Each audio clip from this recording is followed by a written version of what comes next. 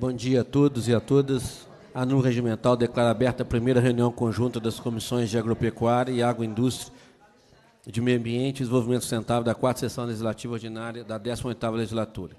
Solicito, senhores e senhoras deputados, que registrem sua presença nos postos de habilitação. Essa presidência suspende a reunião por 10 minutos para que a gente possa compor a mesa e esperar a chegada dos demais convidados.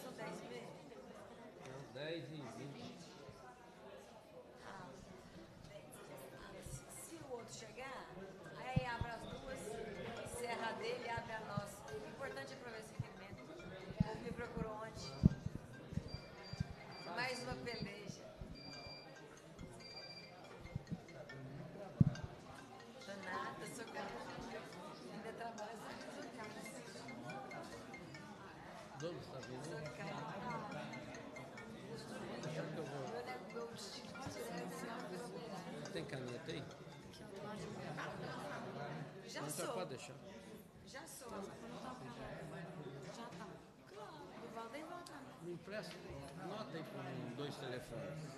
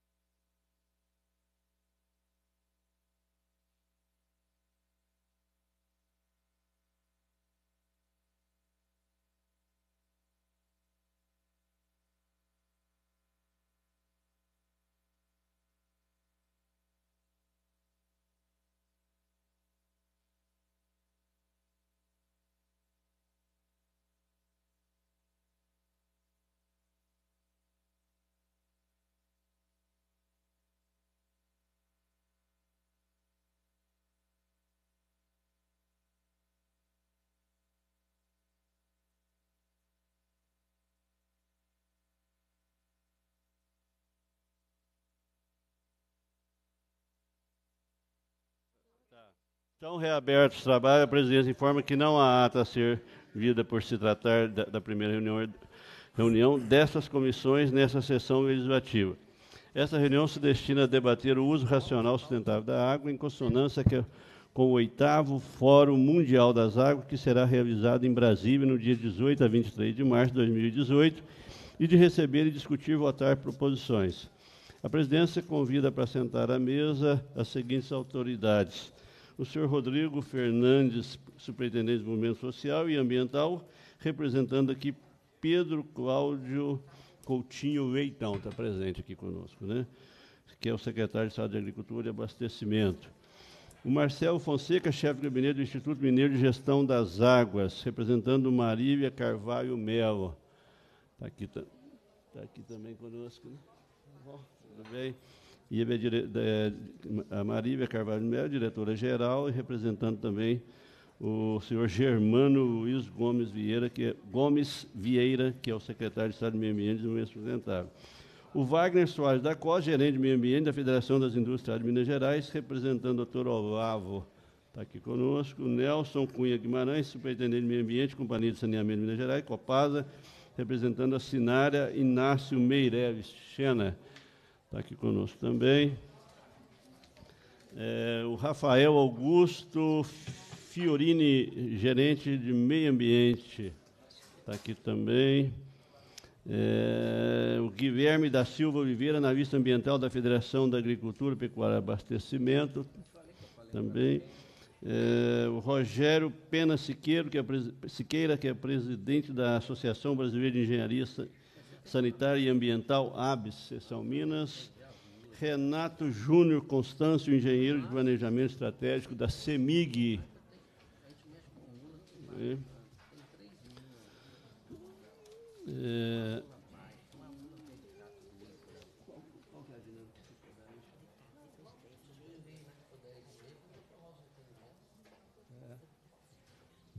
Suspende Suspende a audiência e aí você abre.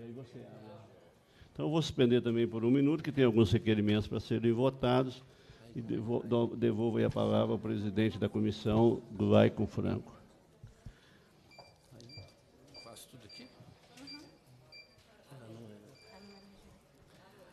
A número regimental declara aberta a quatro reunião ordinária da Comissão do Meio Ambiente e Desenvolvimento Sustentável da quarta sessão legislativa ordinária. Da...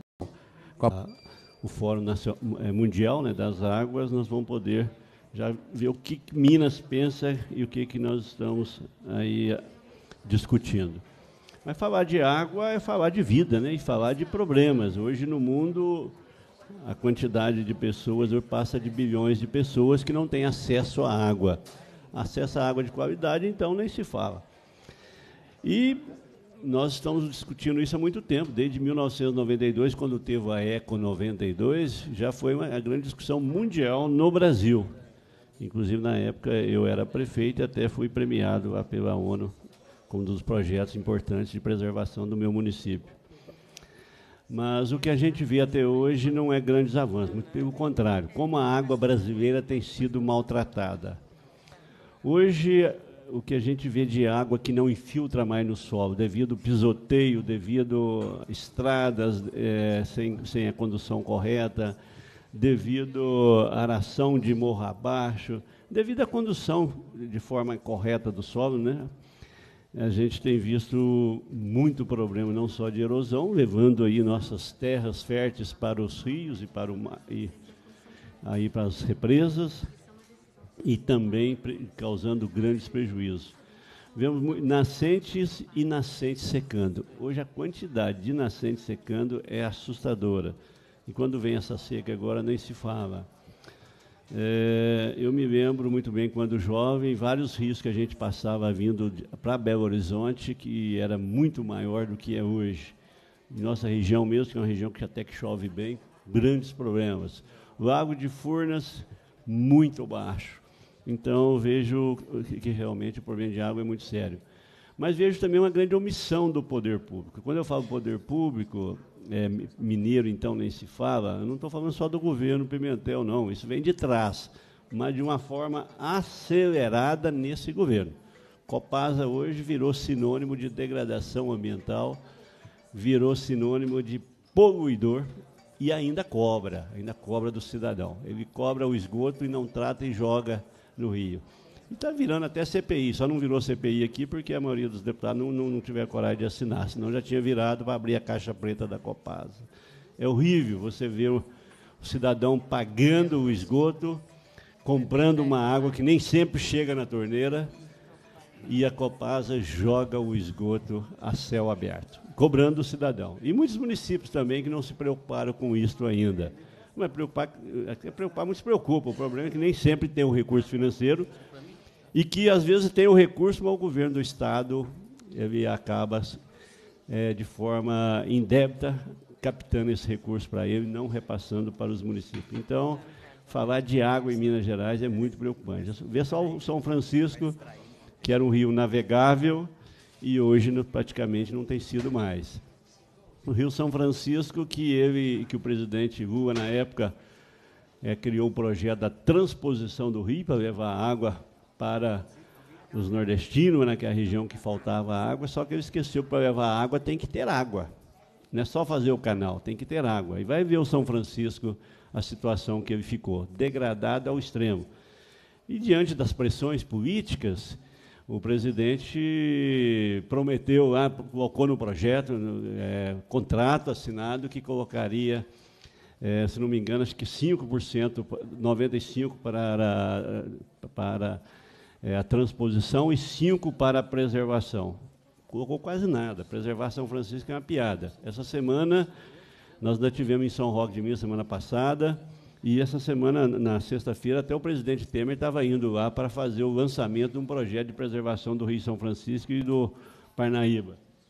Mas o tempo não ajudou, choveu e ele não apareceu. Mas está lançando um programa e eu espero que agora o governo tenha seriedade e coloque recursos para a preservação do Rio São Francisco, mas não só do São Francisco, mas também dos nossos lagos, do nosso Rio Grande, que Furnas hoje, inclusive falando em, em, em ser até privatizada através da Eletrobras, que nós somos contrários, eu acho que tem que preservar, tem que privatizar quase tudo, tem, o Estado tem que ser mínimo, mas energia é estratégica para o Brasil e para qualquer país, então Furnas eu acho que não é o caminho, não é o momento de falar em privatização mas de preservar o rio, o Rio Grande, preservar o nosso lago de Furnas, é fundamental. E olha, nós estamos vendo o lago cada dia dando, soltando a água para gerar energia lá para o Nordeste, e mesmo chovendo até bem como está chovendo no sul de Minas, nós estamos vendo o nosso, nosso lago de Furnas bastante degradado, não só pelos esgotos, da maioria pela Copasa, mas também pelo, ali pela vazão extrema do rio, que sem deixar o rio, a, o lago subir como deveria, estar com o seu espelho da água no máximo. Então, falar de água em Minas, falar de água no Brasil, é realmente um grande desafio.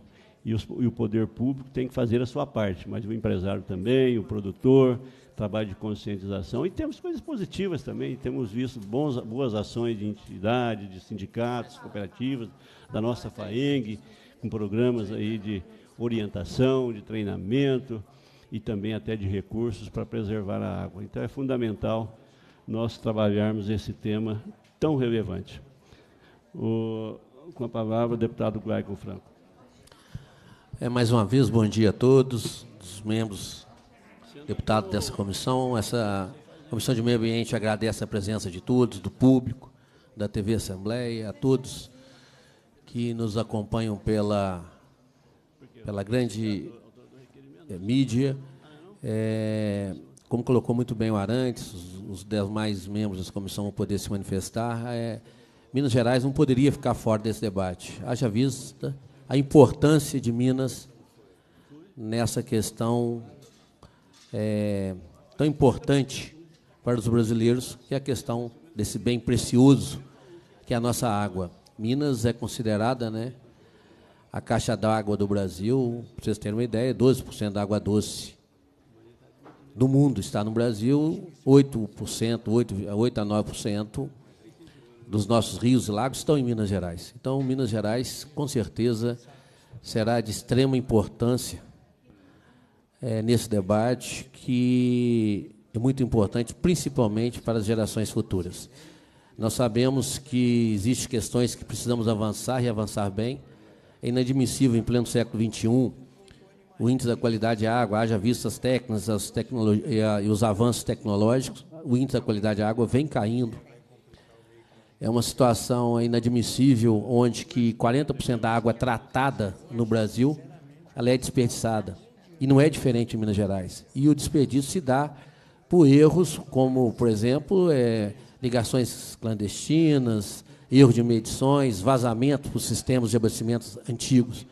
Isso é uma situação que nós não podemos admitir. Para vocês terem uma ideia, 36% dos nossos comitês de bacias é, em Minas Gerais, somente 11 é, recebe recursos financeiros oriundos da cobrança pelo, pelo uso dos recursos hídricos. 4 a 5 é, bacias não existe nem plano diretor. Então, são situações que nós precisamos avançar e eu tenho certeza que esse debate aqui hoje irá contribuir muito. Outra situação que nós precisamos avançar é na questão da legislação da reutilização da água. Nós sabemos que existem normas, existe decreto, inclusive as atividades industriais já, já vêm fazendo esse reuso da água, mas, na verdade, não existe uma legislação nem estadual e nem nacional sobre o reuso da água é, em nosso país. Então, são situações que nós precisamos avançar. Então, espero que hoje aqui a gente possa debater esses temas, é, os temas que o Arantes colocou, é, avançarmos nessas questões, porque espero que Minas Gerais não será diferente nessa questão, que dê uma grande contribuição para o fórum que será realizado agora, de, de, do dia 18 ao dia 23 é, de março, em Brasília, é bom que se diga, é o, é o oitavo fórum, né? é a primeira vez que acontece no Hemisfério Sul, então nós temos que estar bastante presentes nessa situação e Minas não poderia se furtar neste momento. Então eu gostaria de parabenizar essa comissão, juntamente com a comissão de agropecuária, que aprovou por unanimidade esse pedido de audiência para que pudéssemos daqui darmos sugestões é, espero que saiam também projetos para contribuir nesse grande debate que será realizado em Brasília, esse debate que é de suma importância para as futuras gerações. Então, é essa a nossa contribuição inicial, Arantes, e espero que a gente tenha aqui uma manhã, um início de tarde bastante profícuo para debatermos essas questões. Pela ordem, presidente. Muito obrigado, deputado Guaico Franco. Uma palavra, deputada Marília Campos. Senhores presidentes, todos os deputados que aqui estão, senhores convidados, nenhuma convidada, senhores convidados, acho que é uma, uma audiência pública importante para discutir essa questão da água e a gente ir preparando para a realização do fórum. Mas, senhores presidentes, eu senti falta aqui de convidados que é, estão representando as políticas para os municípios. Porque, na minha opinião, nós não, não podemos pensar a água apenas. É, é, é não podemos pensar a água excluindo o processo de ocupação do solo urbano, que hoje uma das principais ameaças para escassez de água é como que a humanidade tem ocupado né, as, as terras, é, e isso sendo organizado através dos planos diretores de cada município. Pertinente, inclusive, levantar aqui que o Estado enviou para essa casa o plano de diretor metropolitano, que brevemente será debatido, e, na minha opinião, já faço, inclusive, uma crítica, porque esse plano diretor, deputado Dilson Mello, veio excluindo é, uma, uma questão muito importante, que é a área de contagem, onde se encontram as bacias, as nascentes, que abastecem tanto a Lagoa de Vargem das Flores, como também a bacia da Pampulha. E todo aquele debate que fizemos aqui é, é, foi desconsiderado pelo secretário das cidades e enviou o PDDI para essa casa é. sem é, fazer esse, sem é, colocar esse debate é, da região é, que afeta a bacia de Vargem das Flores. Mas a minha sugestão aqui, senhores presidentes, é que quando formos fazer debates como esse, nós temos que colocar, por exemplo, o IEF, nós temos que colocar, colocar o secretário de Estado que estabelece as políticas para as cidades, porque é nessa secretaria, por exemplo, onde tem as agências metropolitanas, nós temos a agência metropolitana de BH, nós temos a agência metropolitana do Vale do Aço, e me parece que está sendo criada agora a agência metropolitana do, ou vai ser criada, da região de Montes Claros, mas pelo menos é um debate. E são essas agendas, agências que operam nos municípios, particularmente atuando nessa questão do plano diretor. Então, apenas como sugestão, próximos debates, discutir com secretarias e órgãos que eh, estejam sintonizados com o processo de ocupação eh, do solo. Muito obrigada. Muito obrigado, deputada Marília Campos. Agradecer a presença também do Geraldo Magela, que é analista institucional do Sindicato e Organização das Cooperativas do Estado de Minas Gerais, representando aqui o doutor Ronaldo Ernesto Escucato, da nossa OSENG. Só para corrigir, o que eu queria dizer do próximo mês, foi próximo ano né, do fórum, só que nós já estamos em março, eu esqueci que nós tá, achei que ainda estava em fevereiro. Então, na realidade, é esse mês, né? É a semana que vem. Eu estava achando que, que ainda fosse o próximo mês. Bom, agora com a palavra o deputado Fabiano Tolentino. Fabiano Tolentino, eu já falei mal da Copa, não precisa falar mais mal dela, não, viu? Senhor presidente, é um prazer a gente estar aqui na casa hoje, cumprimentar todos os convidados, o pessoal que está aqui nos assistindo, a televisão que passa por toda Minas Gerais, com todos os deputados aqui presentes. É um prazer a gente estar debatendo um tema tão importante para Minas. Né? O Brasil, a gente não tem dúvida, é a maior bacia hidrográfica do mundo. Minas Gerais tem um papel fundamental.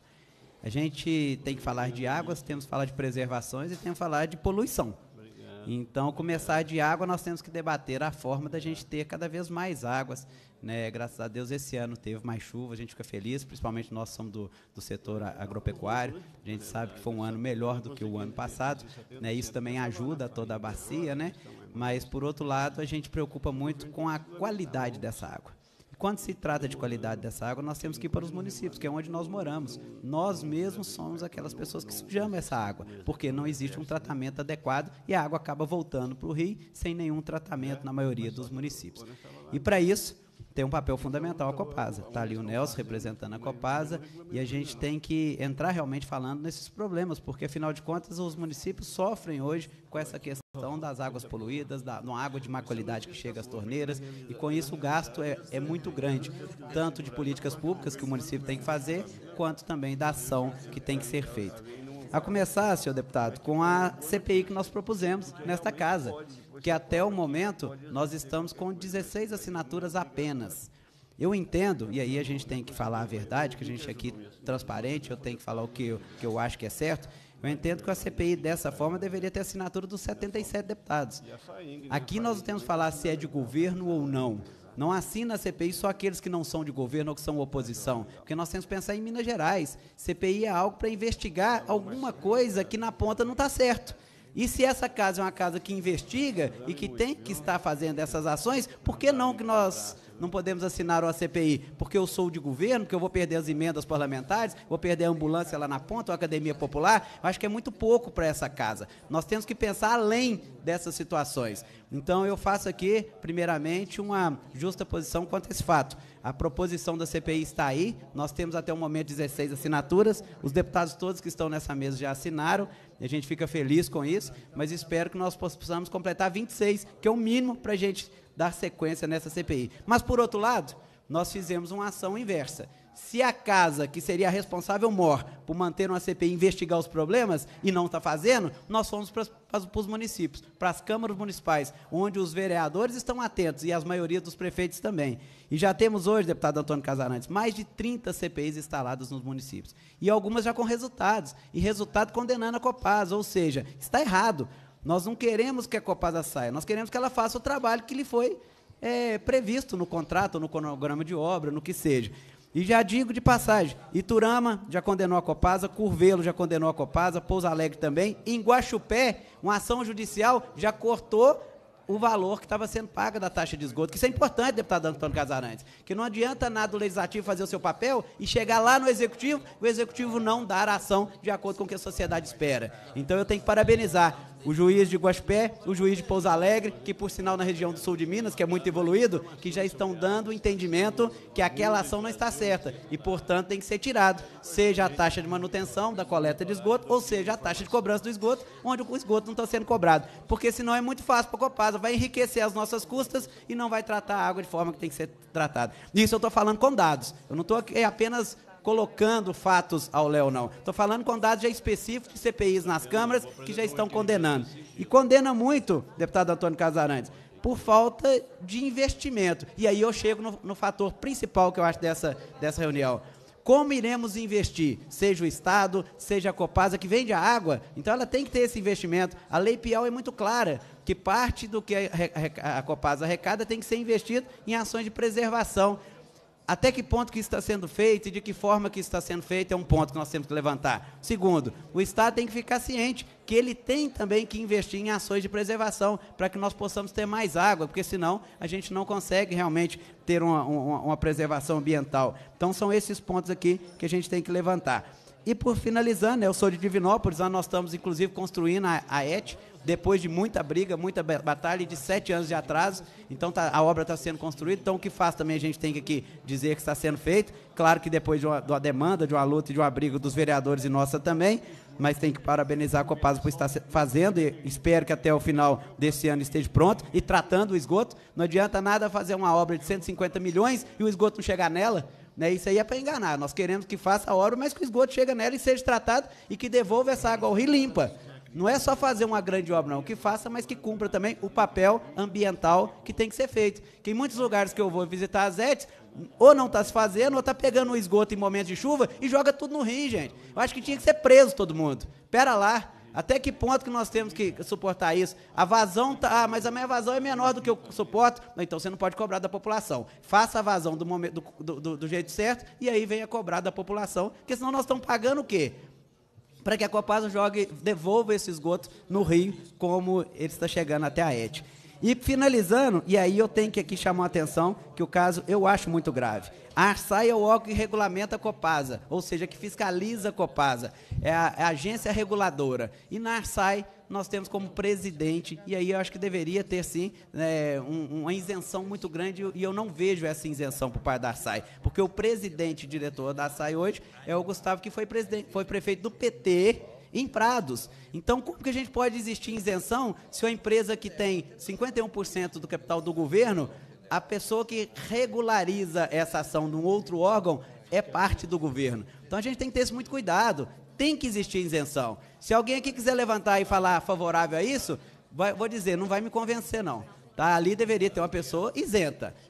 Esse outra pessoa, por mais capacitado que seja, que é ou, ou, ou que seja, que seja em outro órgão do governo, mas não dentro da Arsai, gente. Dentro da Arsai tem que ser técnico, porque se não for técnico a coisa não anda, não pode ser político. Nós não podemos brincar com água, nós não podemos brincar com o meio ambiente, nós temos que ter seriedade. E às vezes o governo não nos passa seriedade em pequenos atos, colocando alguém que não tem condição, é, não técnica, e sim de gestão política de fazer, porque vai estar tá sempre puxando para aquele órgão que lhe colocou ali. Então a gente tem que ter muito esse cuidado. É o que eu tenho para falar de início, mas dizer que é muita coisa que nós temos que fazer e que o Brasil precisa de Minas e Minas precisa de nós, brasileiros, que às vezes nós também poluímos muito o nosso meio ambiente, temos que repensar de dentro para fora, para a gente ter um mundo lá fora melhor do que nós temos tendo hoje. Parabéns a vocês que aqui estão, que essa discussão seja muito boa para Minas Gerais e que nós possamos sair daqui com algumas ações positivas para um crescimento do meio ambiente no nosso Estado. Muito obrigado, deputado. Muito obrigado, deputado Fabiano Tomentino. Com a palavra, deputado Dilson Mello.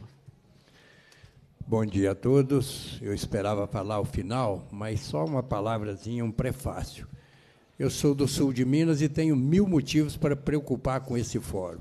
Pedir que Deus abençoe e que possa clarear a cabeça daqueles que vão decidir alguma coisa, para que, ao invés de pensar em fazer dinheiro com a, a água, que possam pensar na sustentabilidade, que possa pensar no uso racional, que possa pensar que a água é vida, que possa pensar que os mais humildes precisam mais do que nunca dessas águas. E o que se fala hoje em dia é fazer dinheiro à custa das águas, como a privatização de Furnas, a venda da Eletrobras e assim por diante. Sul de Minas, que é tido como a bacia aquífera do Estado, graças a Deus não tem tido grandes problemas, mas já enfrentamos alguns, inclusive com a própria Copasa, com a falta de água de algumas cidades, talvez mais por falta de investimento que da própria água. Mas ela tem também como dever é, de orientar, de pelo menos justificar a falta de investimento naquilo que é a sua fonte de recursos. Mas a minha preocupação é que esse fórum, no momento dos mais difíceis que o Brasil está vivendo, de insegurança, de instabilidade, de economia perversa, que se possa pensar simplesmente em recurso financeiro, que possa pensar em fazer dinheiro para ganhar as eleições e esquecer que água é o que nós mais precisamos. Então, o sul de Minas vai estar presente e peço que Deus, pelo menos, oriente essas pessoas que vão estar lá para pensar um pouco mais à frente e não pensar assim de, né, na emergência, na eventualidade de como se ganhar a eleição a qualquer custo. Ao final, eu quero fazer alguns comentários ouvindo as pessoas que aqui estão que são os conhecedores dessa matéria, e ver a posição de cada um na questão de sustentabilidade e do uso racional dessas águas. Porque, né, me desculpem, mas o que se espera desses governos aí, ou pelo menos as suas atitudes, não são compatíveis com o que o povo espera. Eles estão numa contramão da história, pensando em fazer dinheiro a qualquer custo para ganhar as eleições. Muito obrigado, deputado Gilson Melo. Mas só para falar, quando a gente fala mal do Estado, a gente fala com base. Né? O deputado Luiz Humberto, ele, que tinha uma lei de 97, do, ele fala lei Piau, que é onde tinha uma exigência de, de, de aplicar é, meio por cento dos recursos é, do faturamento da Copasa em, em preservação de nascentes. Mas o governo nunca, os governos né, nunca cumpriram. Agora, recente, o Luiz Humberto, em 2017, aprovou uma outra lei, onde um terço dos recursos seriam aplicados na reconstituição de vegetação ciliar, né, as matas ciliares, tão importante, um terço para recuperação diretamente nas nascentes e um terço para que a empresa aplique em projetos definidos por ela. Já é lei e, mais uma vez, não se cumpre, nem, nem Copasa nem CEMIG, nesse caso que envolve as duas. E ainda entraram na justiça contrário ao projeto. É, quando entra na justiça, significa que é contra o projeto, significa que é contra a preservação da água em Minas Gerais. É triste, mas é a realidade o que se faz nesse estado de Minas Gerais. Bom, agora nós vamos ouvir os convidados. Cadê, a vista aí? Então, vamos começar aqui pela Secretaria da Agricultura. Fique à vontade. O doutor Rodrigo Carvalho Fernandes, que representa o secretário Pedro Leitão. Bom, gente, bom dia a todos. De antemão, eu quero agradecer em nome da CEAPA a oportunidade de, mais uma vez, dar essa contribuição aqui à, à, à Assembleia, à audiência pública, que é a Casa do Povo, e especialmente nessa audiência unificada, que é a Comissão do Meio Ambiente e Desenvolvimento Sustentável e a Comissão da Agropecuária e Agroindústria, que é justamente a forma que a nossa agricultura é feita. Não só a forma que a gente enxerga as nossas políticas públicas e como lá em loco na propriedade rural é feito. E, infelizmente, algumas vezes, alguns paradigmas e estereótipos a gente quer quebrar aqui, e isso é estratégia para a gente poder quebrar, de até algumas vilanizações que são feitas junto aos produtores rurais, porque eu posso assegurar para vocês que a agricultura, mais do que ninguém, consegue atingir o grande binômio da sustentabilidade, que é produzir e preservar de forma concomitante. Então, eu sou engenheiro agrônomo, eu sou egresso do Instituto Mineiro de Agropecuária, que juntamente com a Emater e a EPAMIG compõe o sistema agricultura. Então, basicamente, o IMA na defesa agropecuária, a Emater na assistência técnica e extensão rural e a EPAMIG com a pesquisa agropecuária. Todas, obviamente, tendo como uh, o grande cerne, o grande, a grande diretriz maior, as boas práticas agrícolas para o desenvolvimento rural sustentável.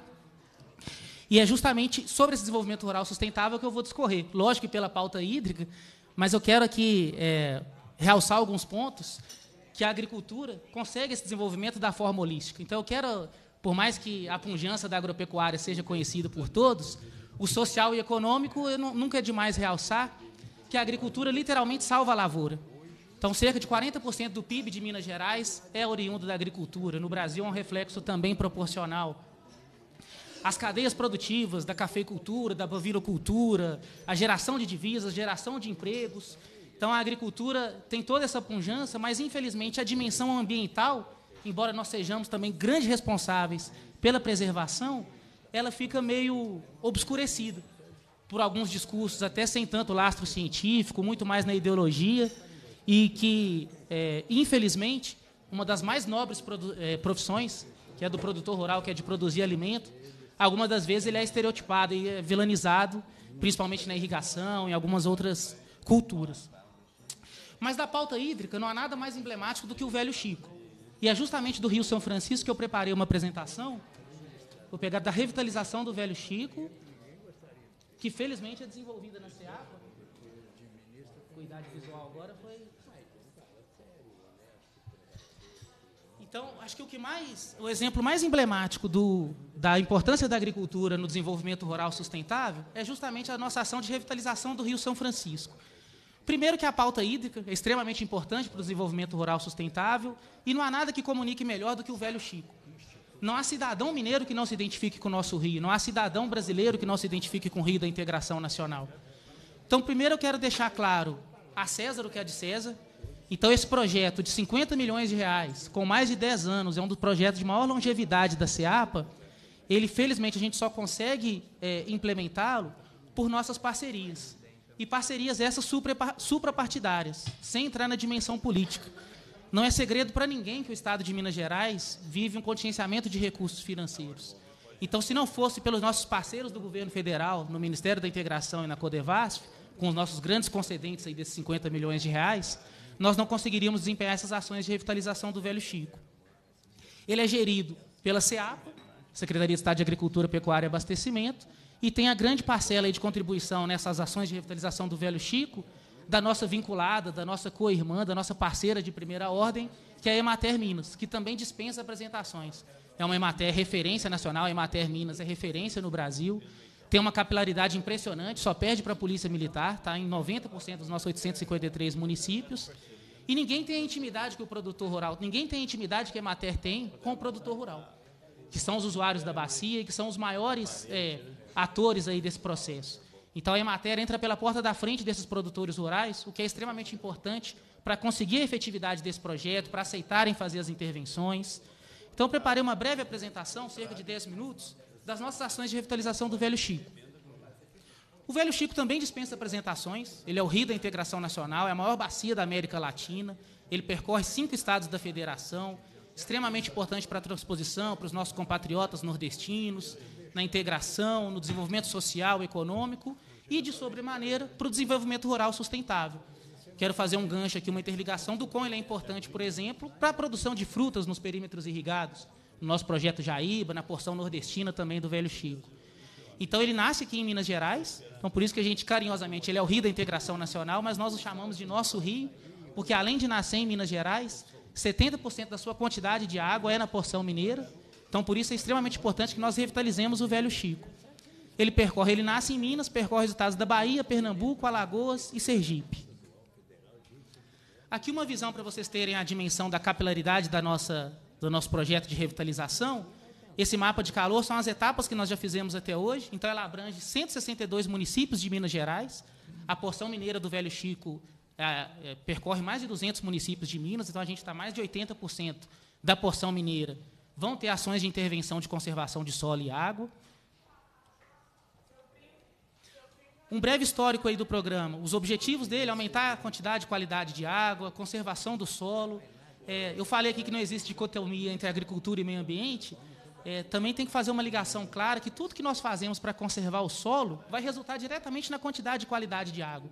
Então a pauta hídrica ela tem muito apelo e é importantíssimo que tenha, mas o que eu conservo de solo é extremamente importante para essa retenção e quantidade, quantidade e qualidade dessa água. Então a revitalização das subbacias, o desenvolvimento rural sustentável e a grande lisonja de, de conduzir esse trabalho na SEAPA porque revitalizar o velho Chico no sistema agricultura nos ajuda, de sobremaneira, a quebrar esse, essa visão equivocada que a agricultura é contrastante do meio ambiente. Então, lá em loco, lá na propriedade rural, o produtor rural, além de produzir, além de preservar, por ele ter essa essência, ter essa conscientização, ele sabe que essa preservação é extremamente importante para ele poder produzir. Então, ele não se pode se dar o luxo de não preservar. Então, o produtor rural, a agricultura, é a que conduz com maestria esse binômio da sustentabilidade, de produzir e preservar de forma concomitante.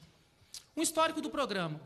Ele nasceu lá em 2002, numa parceria com a Agência Nacional das Águas, mas a formalização foi em 2008, um convênio da CEAPA com o Ministério da Integração e a Codevasf. Ao longo do projeto, na finalização, nós vamos abranger 162 municípios em 178 subbacias e as etapas que nós já tivemos. De 2008 a 2010, nós investimos mais de 10 milhões e atendemos 35 municípios. De 2010 a 2016, mais de 6 milhões e atendemos 39 municípios. E estamos em plena execução em 2017, onde vamos entregar mais de 14 milhões em ações de conservação de solo e água, abrangendo 70 municípios de Minas Gerais.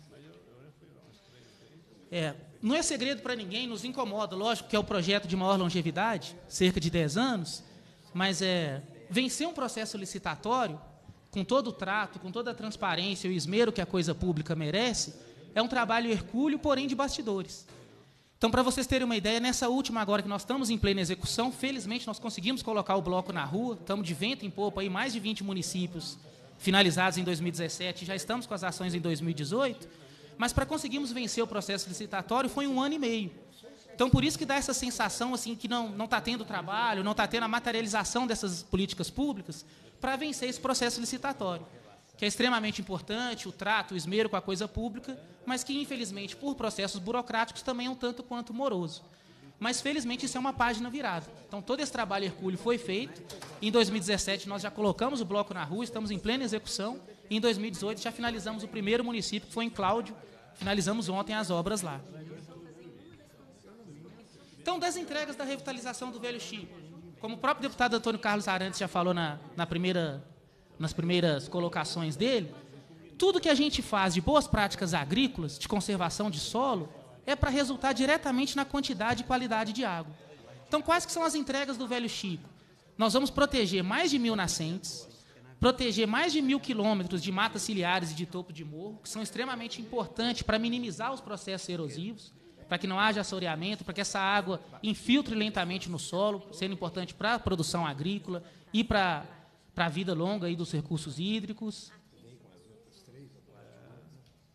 Ficou longe. Construção de terraços.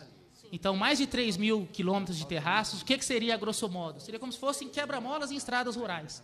Justamente a gente vai ter práticas ali mecânicas para minimizar dessa água da chuva, para que ela é, percorra mais lentamente possível, para que não dê escoamento superficial e infiltre lentamente no solo, para conseguir todo esse ciclo hídrico aí que, importante para a produção.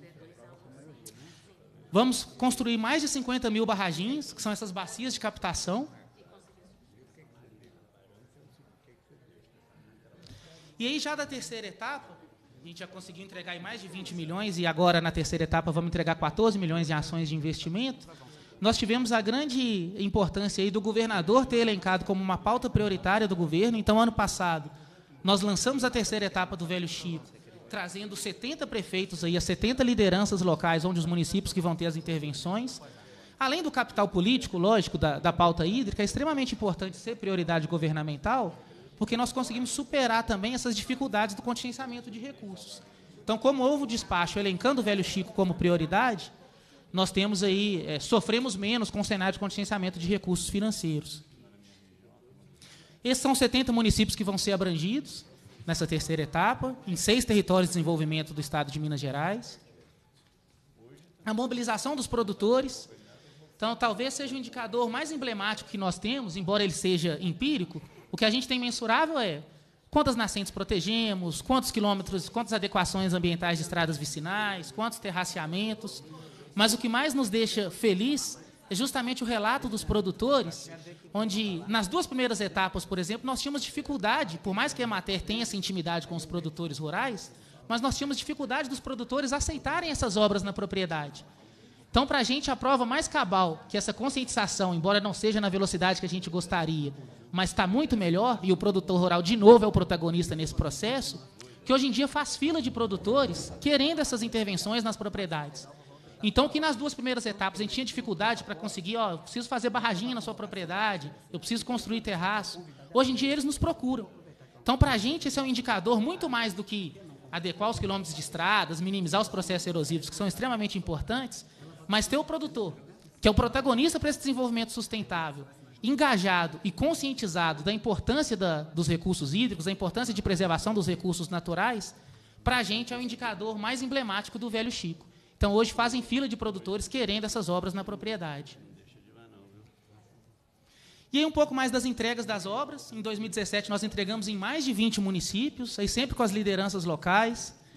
Aí quando finaliza a obra, a empresa tem que apresentar todos os indicadores. Ali em Gouveia. Os 20 municípios, mais de 20 municípios que foram executados.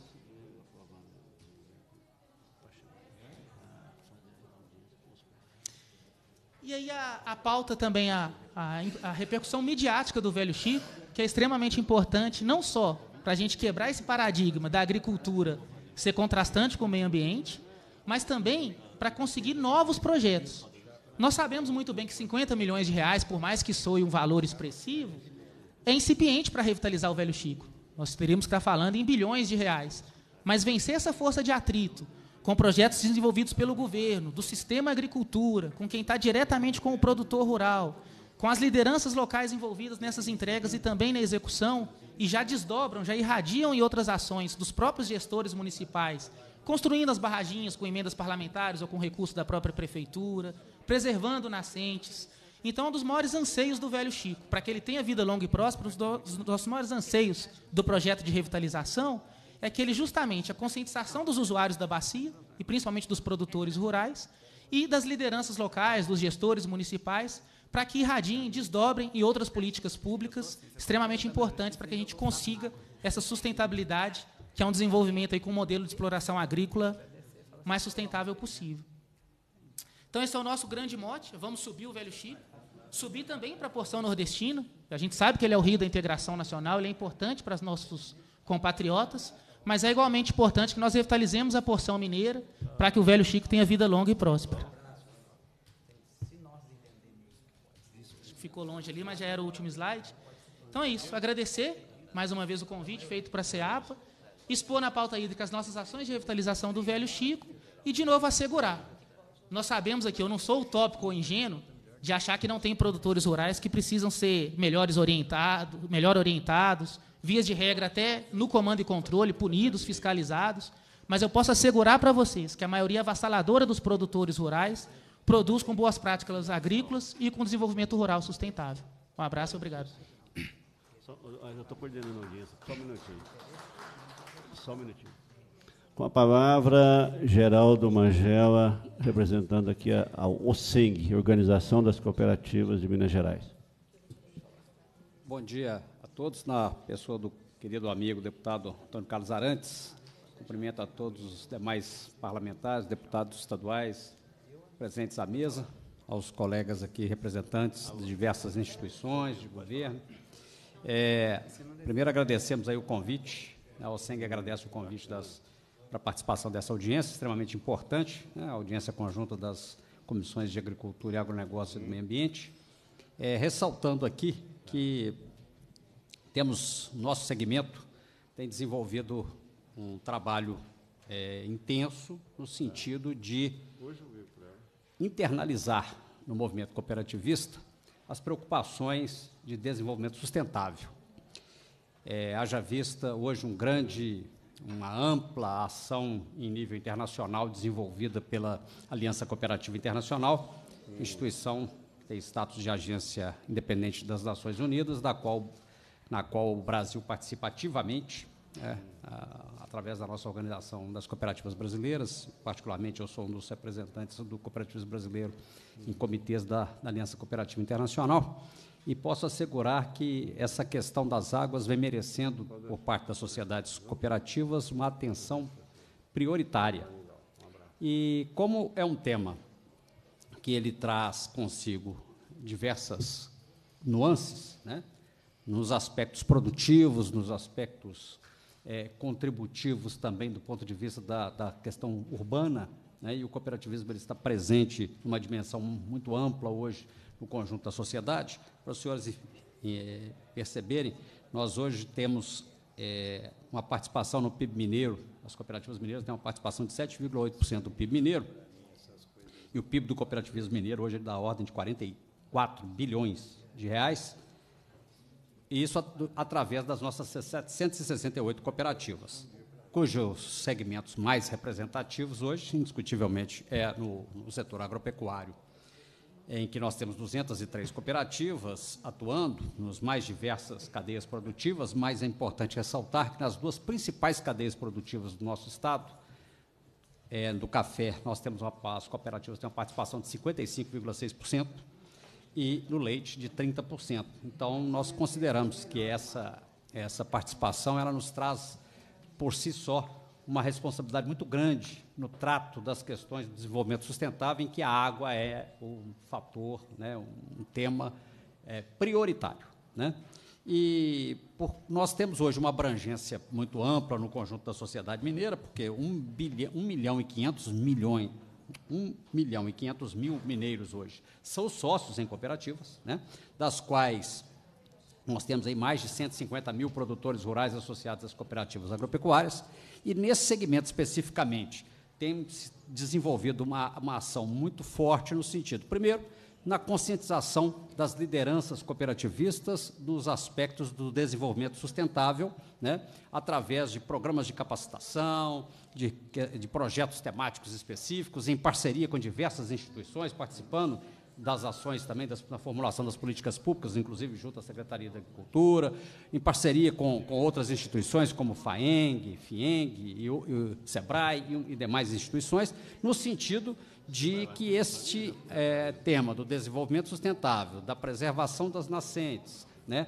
da, da reutilização, do reuso de águas nos processos das nossas agroindústrias cooperativas e também na melhoria da qualidade e aplicabilidade de tecnologias no campo através da disseminação por parte, orientação técnica que parta das nossas cooperativas agropecuárias, obviamente em parceria com os órgãos de governo, como a Emater, como a EPAMIG e de diversas outras instituições, em nível estadual e, e também federal, possamos é, ter uma melhoria, uma melhoria no sentido da utilização racional, né, do reaproveitamento, é, da preservação das nascentes, das matas ciliares, enfim, de toda uma preocupação hoje que temos no sentido de, de dar a contribuição das sociedades cooperativas para que a, este tema realmente ele permeie toda a sociedade. E agora, mais recentemente, é importante ressaltar também para os senhores, é, tivemos uma conquista importante com a aprovação de um projeto de lei no Congresso Nacional,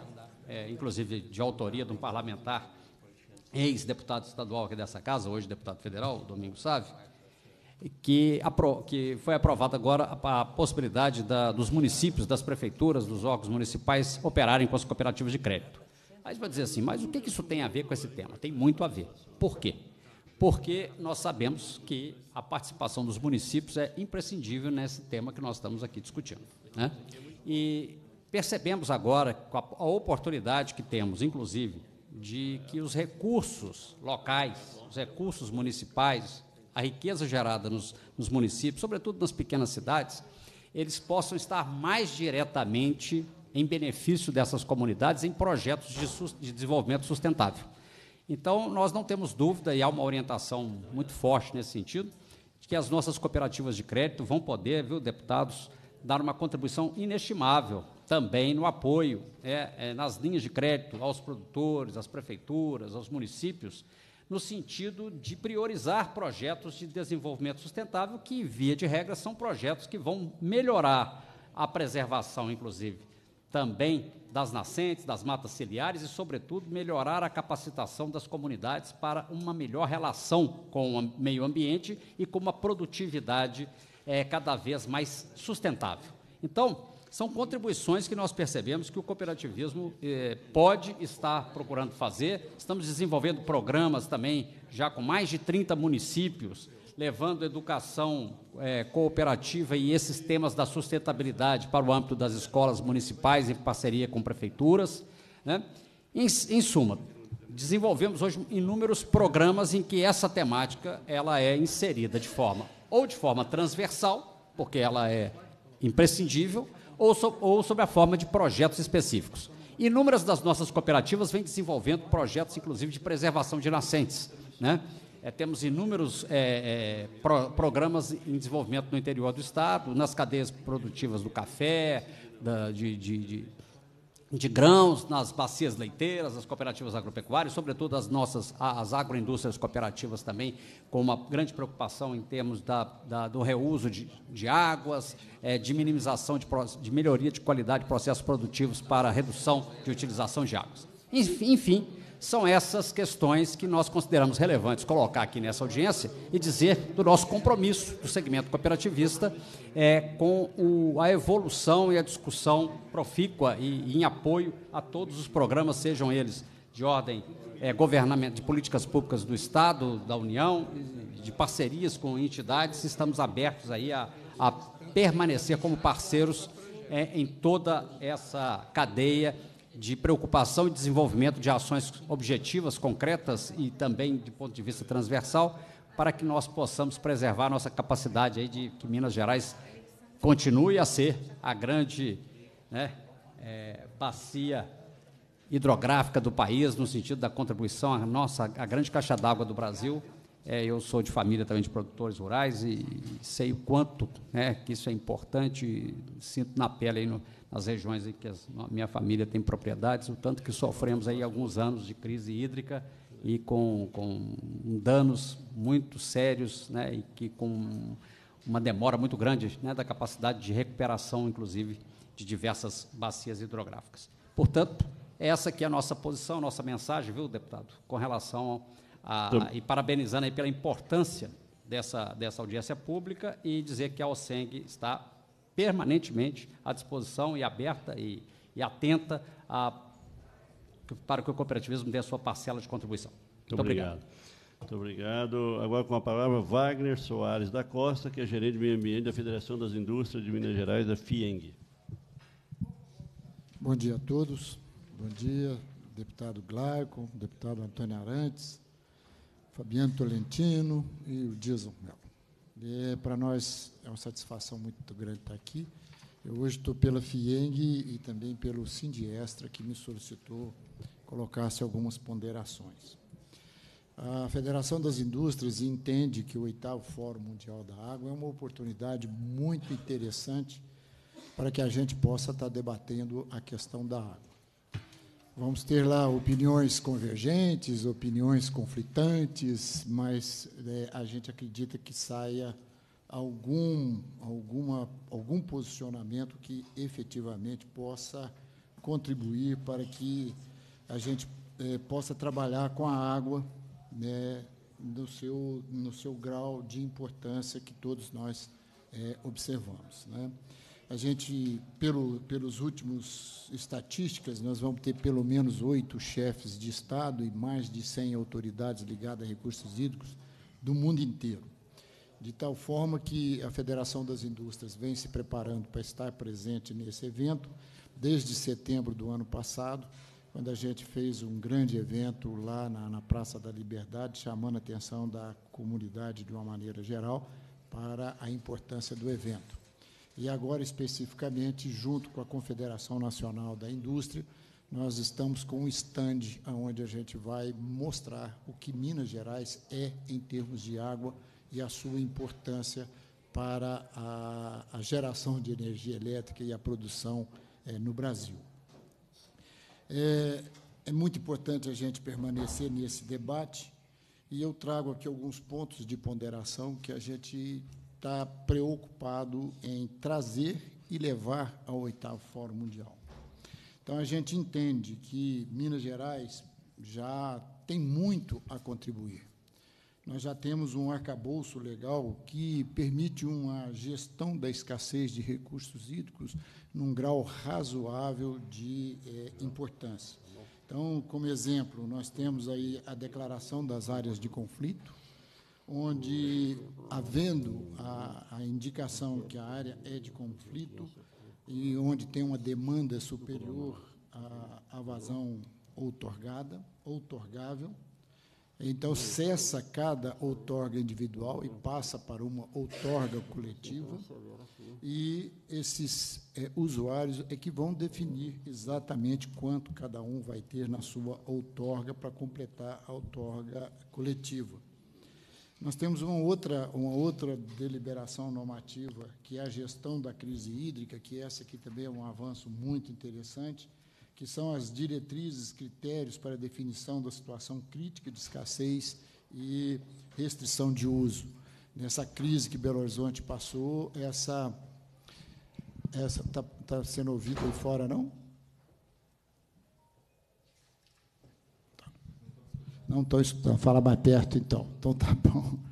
Né? É, nessa crise que Belo Horizonte passou, a aplicação dessa, dele, dessa deliberação foi muito importante, que ela define exatamente quanto cada setor terá de contribuir no seu corte em termos de é, outorga. Né?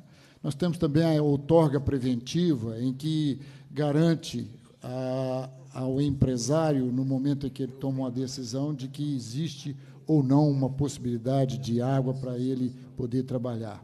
E tem a portaria 29, em que foi um, foi um feito muito interessante para nós, que é a regularização online de usos insignificantes.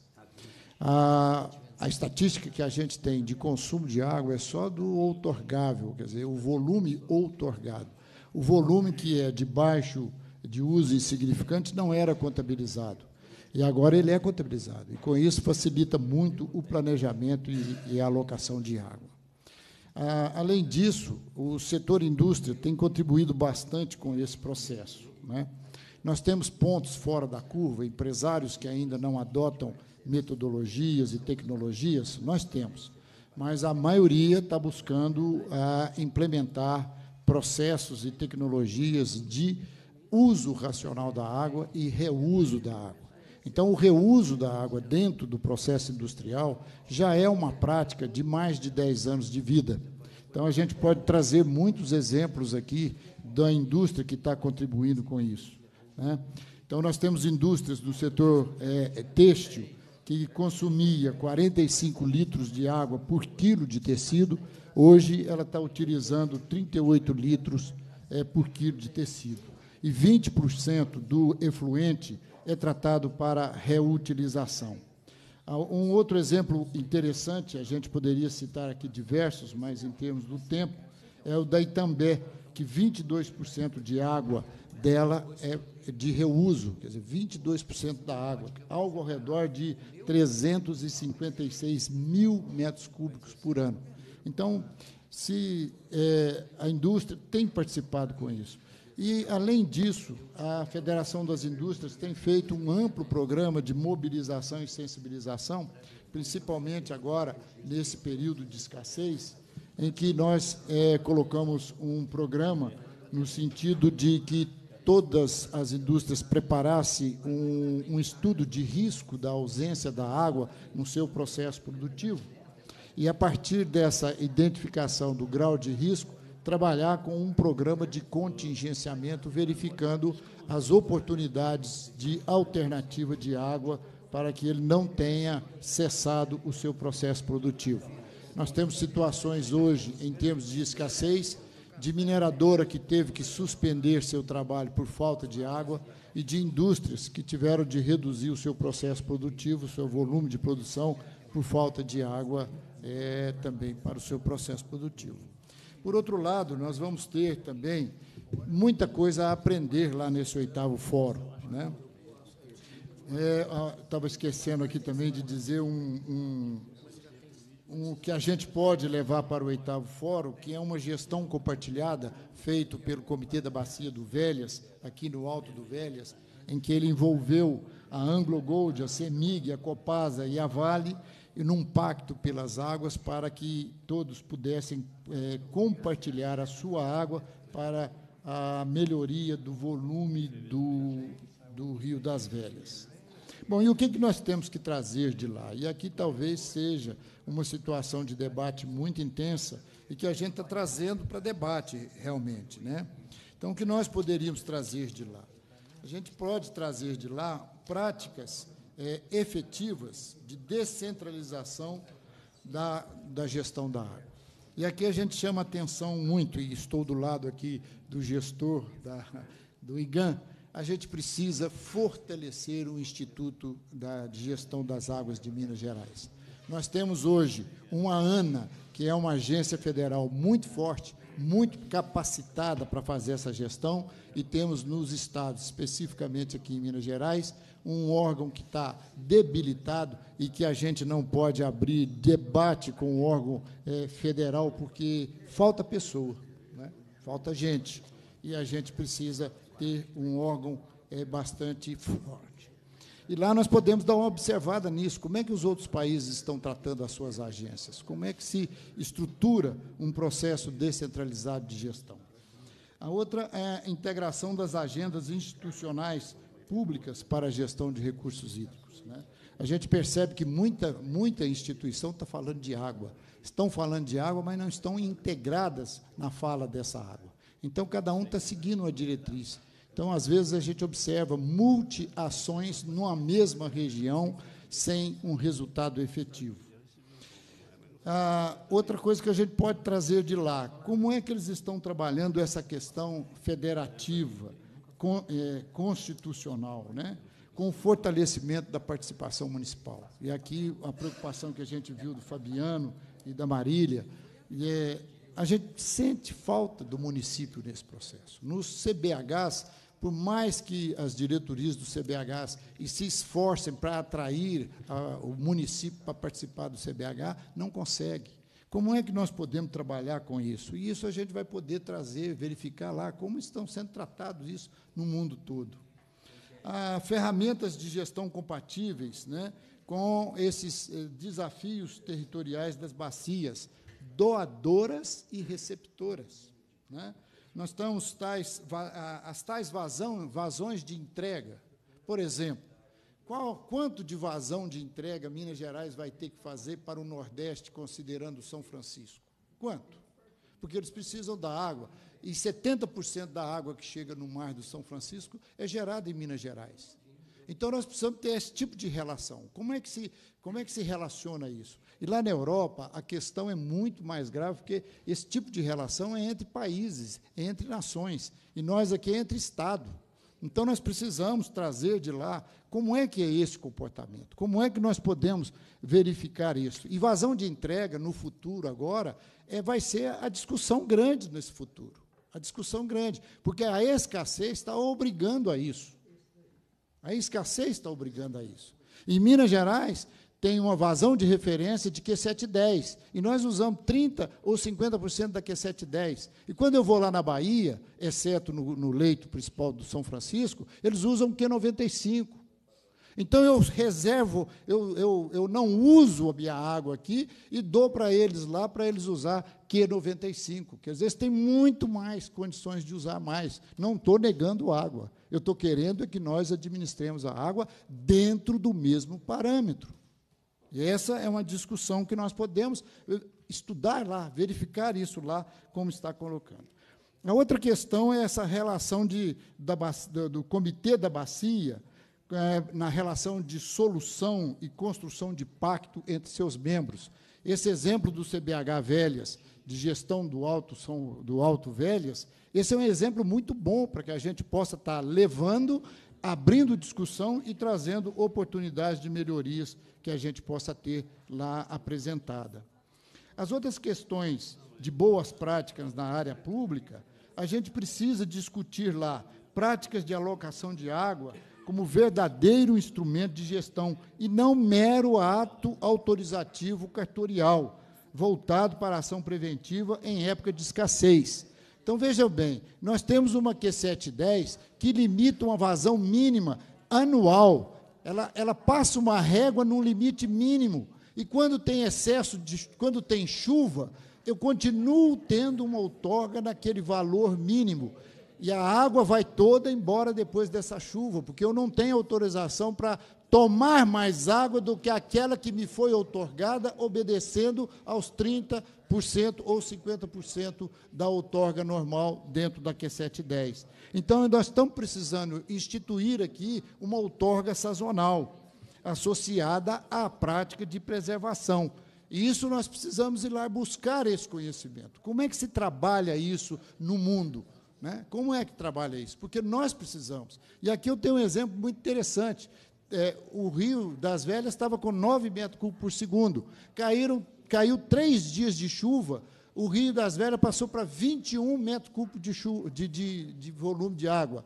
Passado três dias da chuva, voltou à estação normal, o rio baixou para 11 metros cúbicos por segundo. Aonde foi excedente essa, esse excedente de água? Ele poderia ter ficado aqui para que eu regularizasse o fluxo de água na bacia do Velhas. E nós não temos isso. E aí entra uma segunda hipótese, que é o seguinte: analisar sem preconceitos a necessidade de estrutura hidráulica de armazenamento. Precisamos ter reservatórios.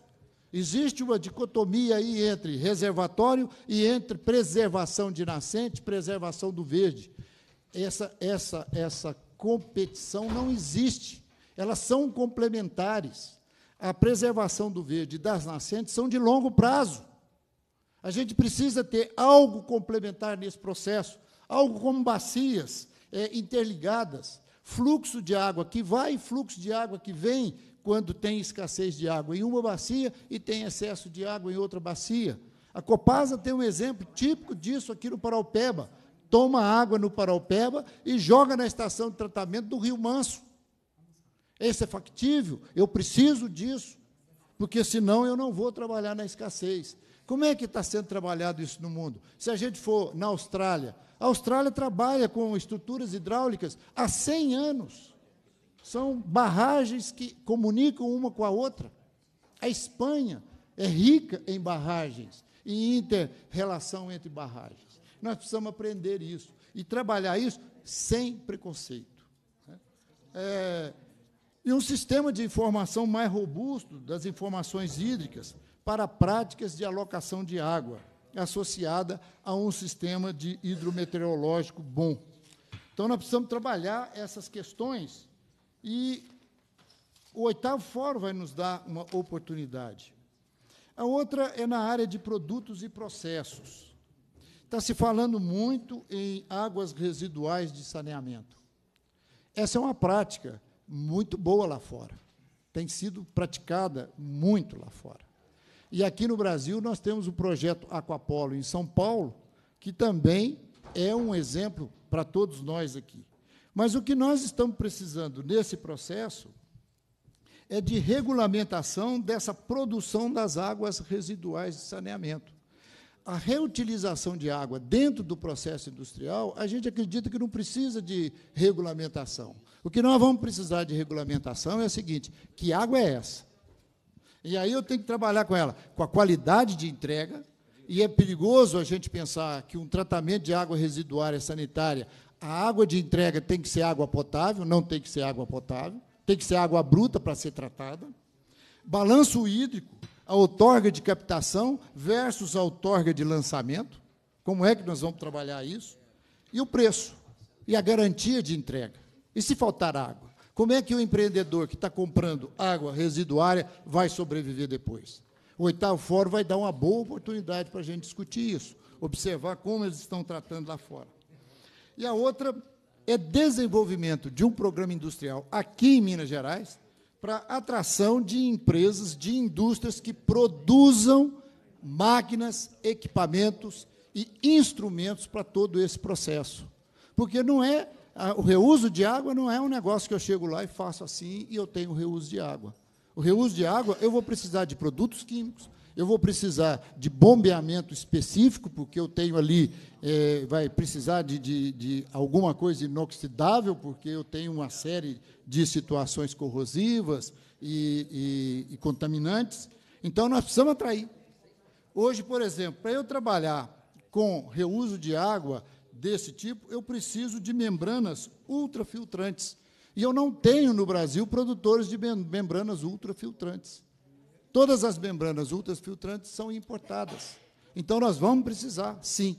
Se vamos trabalhar com reuso, nós precisamos ter um, uma estrutura de produção de máquinas e equipamentos para a, a, o uso desse processo.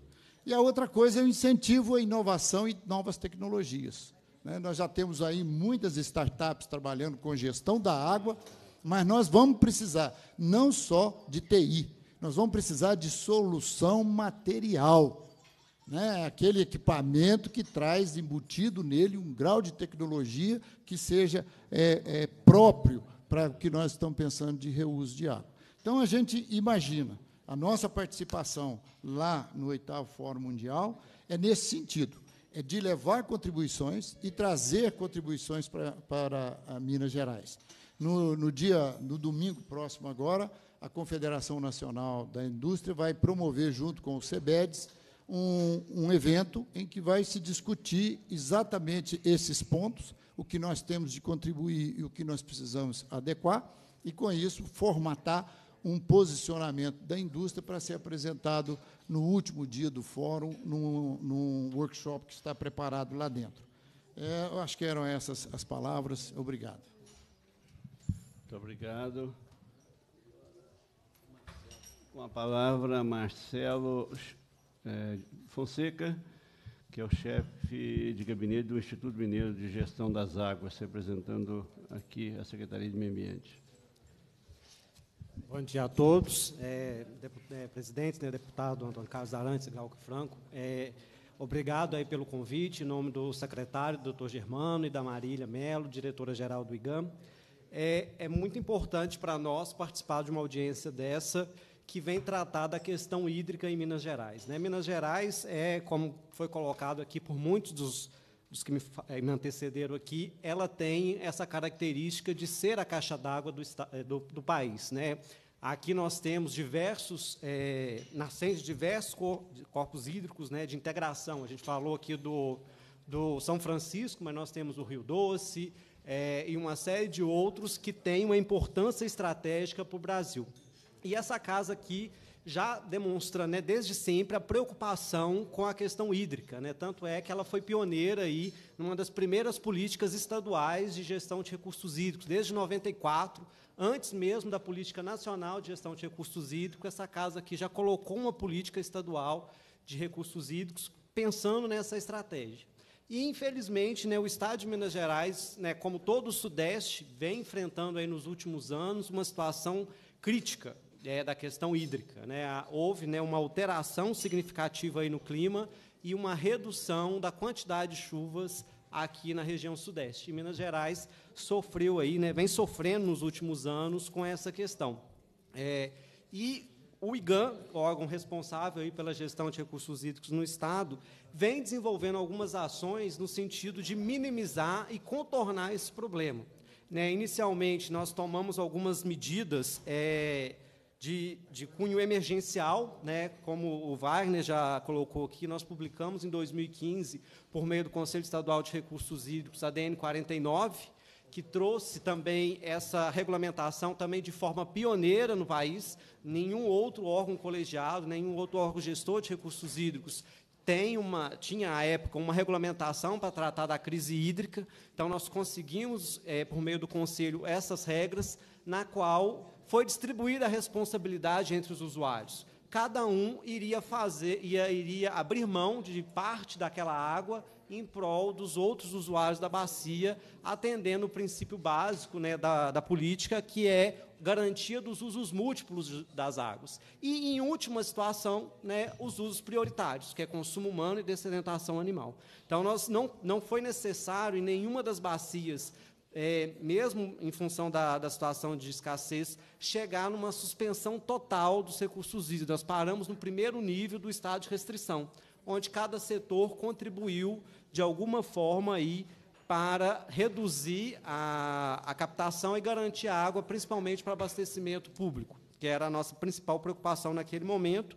É, e isso é, tem, é uma preocupação recorrente né, do nosso secretário, do Germano e da Marília, tanto é que ele colocou para o CISEMO a missão que esse ano é o ano hídrico.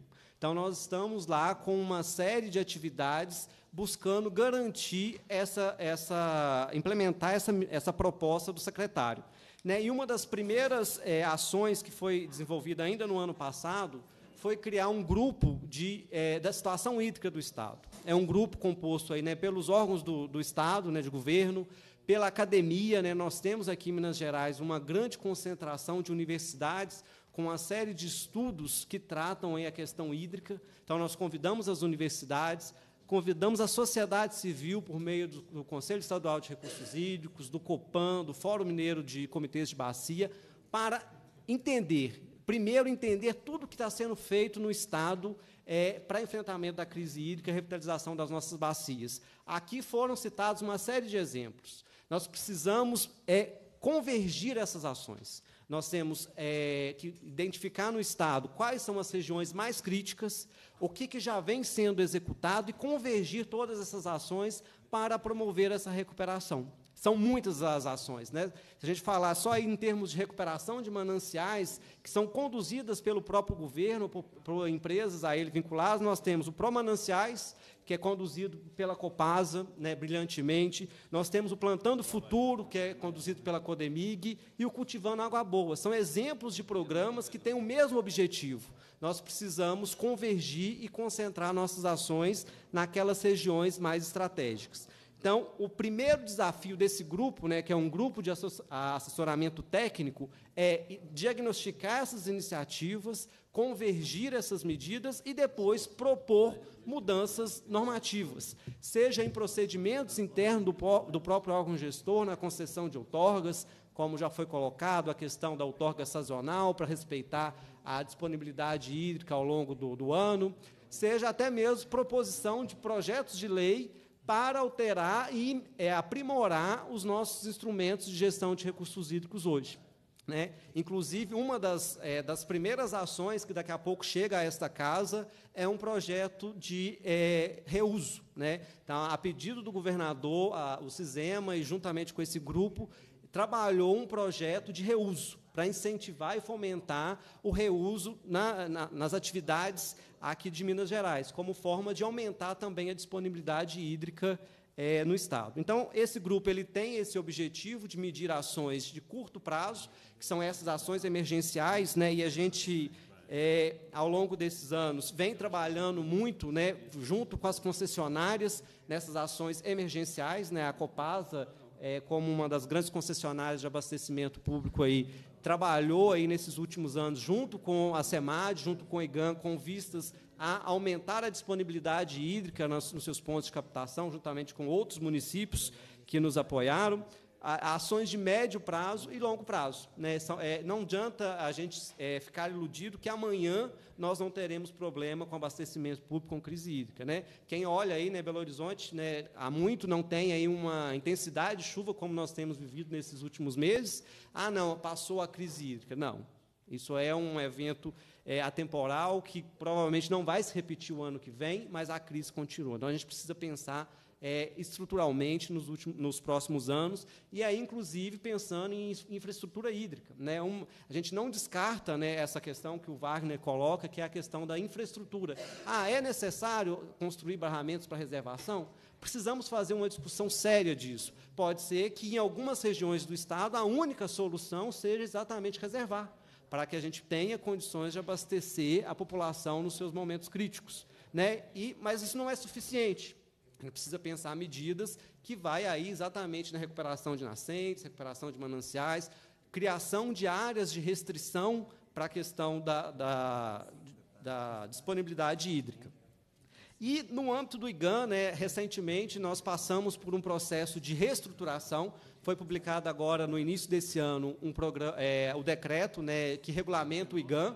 Ele é fruto de toda uma remodelagem do sistema e já pensando nessa necessidade de fortalecimento do órgão gestor de recursos hídricos, nós já promovemos algumas mudanças. Ela está em fase de implementação.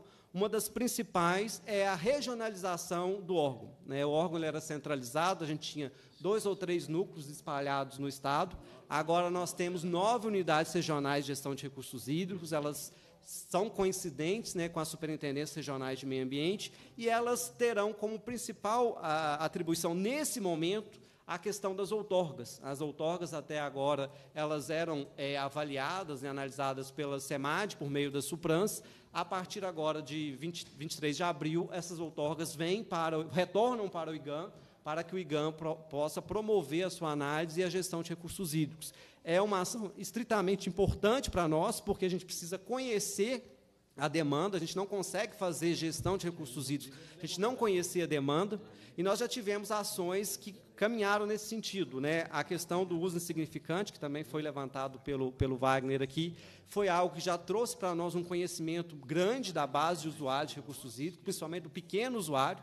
Nós tínhamos um represamento nessas autorizações, então nós conseguimos tirar da ilegalidade é, muitos usuários de recursos hídricos, e agora o nosso esforço é nos usuários não é, considerados não significantes, que consomem um volume maior de água, mas que precisam, sim, passar por esse processo de regularização do uso da água para tirar eles da ilegalidade. Né? Hoje estão sujeitos aí às penalidades previstas na legislação, com multa, suspensão de atividade. Então, o desafio do IGAM agora, nesses próximos anos, na parte de regulação de uso, é absorver essas outorgas, conseguir finalizar é, o que está represado. Nós temos da ordem de 22 mil processos de outorgas aguardando a análise no órgão ambiental. Então, a gente precisa reestruturar esse fortalecimento que o, que o Wagner destaca. É importante para o órgão para que ele consiga dar essa resposta e, assim, promover a gestão de recursos hídricos.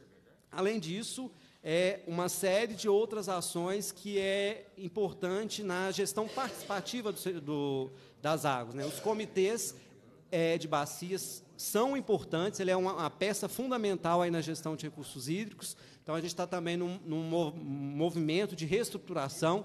Todos os comitês é, tiveram recentemente eleições, então a gente está correndo agora para fazer a publicação dos atos para as novas diretorias assumirem os comitês e começar a sua nova gestão, além de apoio é, institucional e estrutural para esses comitês, para que eles possam empenhar as suas ações. E é, o, acho que um dos grandes é, benefícios né, do, do fórum é exatamente o compartilhamento de informações. E, para isso, né, o Estado de Minas, é, juntamente né, o IGAM, juntamente com a Copasa e com a CEMIG, é, é, vão levar ao fórum uma publicação que foi é fruto de um edital de seleção de trabalhos desenvolvidos no Estado sobre a governança das águas. Né? O trabalho ele é intitulado Compartilhando das Experiências das Águas de Minas Gerais. Ele é o IGAN publicou em janeiro um edital convocando né, um edital de chamamento para que é, a, é, setores do governo, da, da indústria, setor produtivo, da academia, apresentar suas experiências de gestão de recursos hídricos. Esses trabalhos foram selecionados e serão disponibilizados é, por meio de uma publicação científica, na qual a gente destaca e apresenta essas experiências de gestão de recursos hídricos. É, o, foi tão é, grande né, o volume de trabalhos apresentados que nós vamos ter volume 1, que vai ser publicado agora, né, para ser disponibilizado durante o fórum, e um segundo volume que vai ser disponibilizado e publicado durante a Semana das Águas, que excepcionalmente esse ano a gente vai comemorar em abril, em função de na semana que vem todo o estado, né, existe uma delegação do governo de Minas, é, uma delegação do CISEMA que estará participando do Fórum das Águas, levando as nossas experiências, mas principalmente buscando conhecimento, né, buscando experiências do que é feito de excelência na gestão de recursos hídricos no, no âmbito mundial, trazendo essas experiências para serem adaptadas aqui no estado de Minas Gerais. Então, é esse um pouco né, o, nosso, o que a gente tem feito hoje na questão de gestão de recursos hídricos. E para o fórum é isso. A gente está levando, Obrigado. compartilhando as nossas experiências exitosas aqui e, principalmente, buscando, ir lá buscar conhecimento do que a gente pode é, incorporar aqui na gestão de recursos hídricos em Minas Gerais. Muito obrigado. Agora com a palavra Nelson Cunha Guimarães, superintendente de meio ambiente da Companhia de Saneamento de Minas Gerais, Copasa. Vamos estabelecer um prazo de 10 minutos, viu, gente? Porque senão depois tem que voltar a palavra novamente. É, bom dia a todos. Também gostaria de agradecer o convite em nome da nossa presidente, Sinara Meirelles, é? para discutir esse tema super importante, que é o tema dos recursos hídricos, principalmente para a Copasa, que é a matéria-prima do seu trabalho. É, essa escassez que Minas Gerais tem sofrido nos últimos três anos, três, quatro anos, ela é, tem possibilitado né, essa discussão e aprofundamento da discussão sobre o tema. Acho que nunca o tema água ela é, te, é, teve tanto espaço na, na mídia brasileira como tem acontecido nesses últimos anos, em função desse problema da escassez. E nada mais oportuno de estar ocorrendo, então, o oitavo Fórum Mundial da Água aqui em Brasília, né, na semana que vem. É, como também já foi dito aqui pelo deputado, Brasil, que é o país onde 12% né, da água doce do mundo está aqui no nosso país, no nosso território. E Minas Gerais, com a sua importância, obviamente. É, é muito importante a, a gente estar tá ressaltando que a questão de recursos hídricos é uma questão que ela é transversal e diante da, dessas questões de escassez de água, na época de seca, ou como tem ocorrido atualmente, excesso de água na época de chuva, e dentro do contexto que cada vez mais discutido, que é a questão das mudanças climáticas, é, é muito importante que essa discussão, então, ela seja feita e aprofundada, porque realmente não tem como tratar a água em cima de um tema de, é, só com especialistas. A gente precisa estar tá envolvendo toda a sociedade, nós precisamos discutir políticas, precisamos planejar, precisamos articular as ações com todos os setores possíveis. E a Copasa ela tem participado, sempre que é convidada, em todos os eventos, convites e discussões sobre o tema é, e buscando é, contribuir para que a gente possa estar tá, é, buscando é, essa questão de garantir uma disponibilidade maior desse recurso que é a água.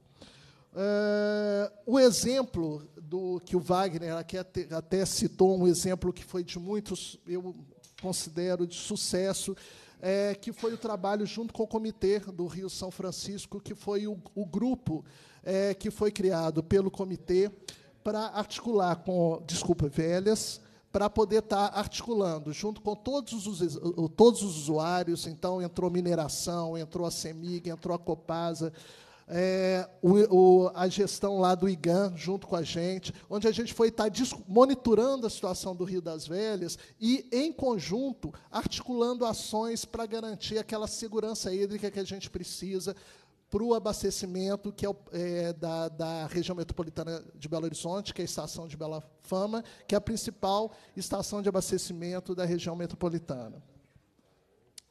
Uma coisa também que eu queria estar é, tá fortalecendo é a questão que o acesso da água potável, tá certo, e o saneamento é, básico, ele é considerado um direito essencial para a população e isso foi reconhecido pela Assembleia Nacional da ONU, já que o direito à água e o saneamento é, garante, tá certo, a vida e a saúde das populações no mundo. Eu acho que essa questão do direito à água vai ser uma das grandes temas que vão ser discutidos não só no Fórum Mundial, mas também com, é, dentro do Fórum Alternativo, que também vai estar correndo paralelamente ao Fórum. É uma questão importante que essa discussão precisa ser aprofundada. É, dessa forma, é, a tarefa de garantir a disponibilidade e o manejo sustentável da água e o esgotamento sanitário é, que é um dos objetivos de desenvolvimento sustentável, se não me engano, acho que é o ODS 6, é, é uma tarefa, é um desafio para para as companhias de saneamento estadual e também para os sistemas municipais e departamentos municipais de, é, de saneamento que, a gente, que existem no Brasil. O déficit do saneamento no, no Brasil é muito grande. Não é? Minas Gerais também tem um déficit, mas a Copasa, é, que está operando e está presente em 636 municípios de, Belo, de Minas Gerais com com abastecimento de água, com concessões de água, em cerca de 300 com esgotamento sanitário, ela realmente ela tem buscado trabalhar de forma a melhorar esses índices e cumprir a missão da empresa, que é contribuir para a universalização dos serviços de saneamento. E para que se faça isso, é necessário parcerias, parcerias com poder concedente, é, gerando valor para os clientes, acionistas, colaboradores e a sociedade como um todo. É, Para se ter uma ideia, eu acho que foi colocado muita questão da Copasa. A Copasa tem muito a fazer, muito precisa ser feito. Mas nós temos indicadores que mostram que temos, sim, é, é, crescido muito com relação aos índices de saneamento no Estado, nas cidades operadas pela empresa. Hoje, a Copasa ela atende cerca de 11,5 milhões de pessoas com água, e 7,8 milhões de pessoas com esgoto. O percentual de atendimento de água na área de concessão, que nem sempre a Copasa ela está em todo o município. Normalmente ela só tem a concessão da sede, não tem a concessão das localidades. Então, é, se, se, a gente olhar dentro da área de concessão da empresa, nós temos um índice de atendimento em água de 91%. Se formos olhar a questão do esgoto sanitário, hoje, é, dentro da área de abrangência de, de, de, concessão, a Copasa ela tem um índice de atendimento de 79%. E desses 79%, nós temos um índice de tratamento de esgoto de 82%. Existe, sim, existe um trabalho a ser feito, porque ainda existe um déficit para que a gente possa estar garantindo, tá certo, 100% desejados de tratamento de esgoto.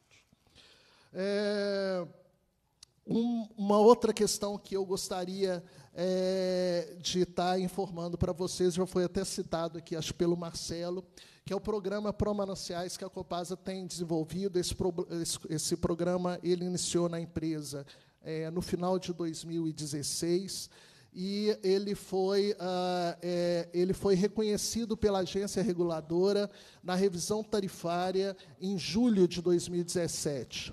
É, é um programa que a Copasa tem desenvolvido, que tem toda a concepção dele baseado no programa Cultivando Água Boa, que foi é, é, desenvolvido pela Itaipu Binacional, que foi premiado pela ONU e que tem alguns diferenciais é, em cima dos projetos que a empresa já em alguns anos desenvolve é, em relação às ações para proteção de manancial. A primeira questão, e é o grande dif diferencial do Pro Mananciais, é, é o seguinte: ele não é um programa pronto que a empresa chega no município e aplica. É um programa que ele é construído junto com os parceiros que são convidados, e parceiros a gente coloca a prefeitura, a indústria, a mineração, a, as organizações de sociedade civil, é, a, todas as pessoas é, é, interessadas no assunto, a Emater, que é a grande parceira do programa, eles sentam numa mesa e fazem um, um diagnóstico da situação daquele manancial que é operado pela empresa e trabalham num plano de ação. É, esse programa, então, ele busca agregar esforços de maneira a buscar um resultado mais eficiente para a melhoria ambiental daquela bacia hidrográfica. A Copasa entra com cardápios de ações que é muito mais do que simplesmente, por exemplo, a gente está trabalhando que é uma, eu digo que é uma história que a Copasa tem, que trabalhava muito com recuperação de nascentes e plantios de, de mudas em áreas de APP. Ela é muito mais do que isso, já que ela possibilita, em cima da necessidade daquela bacia, realmente priorizar quais são as ações que são importantes para garantir a produção de água. Esse programa ele está sendo construído. nós temos a meta de estar em 149 municípios no estado de Minas Gerais com o programa. É, essa, essa, essa gestão participativa, que ela é, ela é realizada através de criação, de criação de coletivos locais, que são feitos em cada um dos municípios. Esses coletivos locais, que a Copasa chama de colmeia, eles já estão é, atuando em 53 municípios do estado de Minas Gerais e vamos chegar não é, com 149, que é a meta desse ano, que é um programa que ele é contínuo e crescente. É, então, é, é, nós estamos acreditando muito nesse programa. Nós entendemos que a questão ambiental ela tem que ser é, compartilhada, a responsabilidade tem que ser compartilhada com todos os atores daquela bacia, não é? E é, esperamos que os resultados é, sejam é, é, realmente é, obtendo a melhoria da qualidade e da quantidade de água daqueles mananciais que são operados pela empresa. É, no ano de 2017 e 2018, a Copasa ela já realizou é, 275 mil quilômetros de cercas em nascentes, já plantou é, 200 mil mudas de árvore e foram utilizadas é, duas mil horas de horas máquinas para construção de barraginhas de infiltração. Isso é o início do programa e a gente espera é, que, esses, que esses resultados eles cresçam bastante é, com a atuação desses colmeias. Um, uma outra, um outro projeto que eu gostaria também de estar é, informando a vocês é a assinatura da Copasa é, no ano passado do programa Revitaliza Rio das Velhas, que é um programa que está sendo desenvolvido na bacia do Rio das Velhas, onde a empresa, no prazo de cinco anos, ela vai estar aplicando é, cerca de 500 milhões em sistemas de esgoto, tá certo? Coleta, interceptor, tratamento e também ações de produção de água, ações ambientais é, para melhoria da produção de água na bacia. É, eu acho que eu não vou me alongar, eu acho que eu já até não sei como é que está o prazo aqui, mas é, realmente é, é, o esforço que a empresa tem, tem feito é grande. É, essas experiências estão sendo apresentadas no fórum e vai ser uma oportunidade da gente poder estar tá trocando experiências é, e, quem sabe, é, avaliar e melhorar cada, esses programas que estão sendo desenvolvidos. Muito obrigado. Muito obrigado, representante da Copasa. Agora, com a palavra, nós vamos ouvir o Rafael Augusto, que é o diretor está aqui representando a CEMIG. É, boa tarde a todos. Meu nome é Rafael, sou gerente da área de meio ambiente da CEMIG Geração e Transmissão. Estou aqui representando o Bernardo Varinga, nosso, é nosso presidente. É, bom, a CEMIG tem uma relação muito íntima com os recursos hídricos. Afinal, 99% da nossa, da nossa geração de energia é proveniente de usinas hidrelétricas.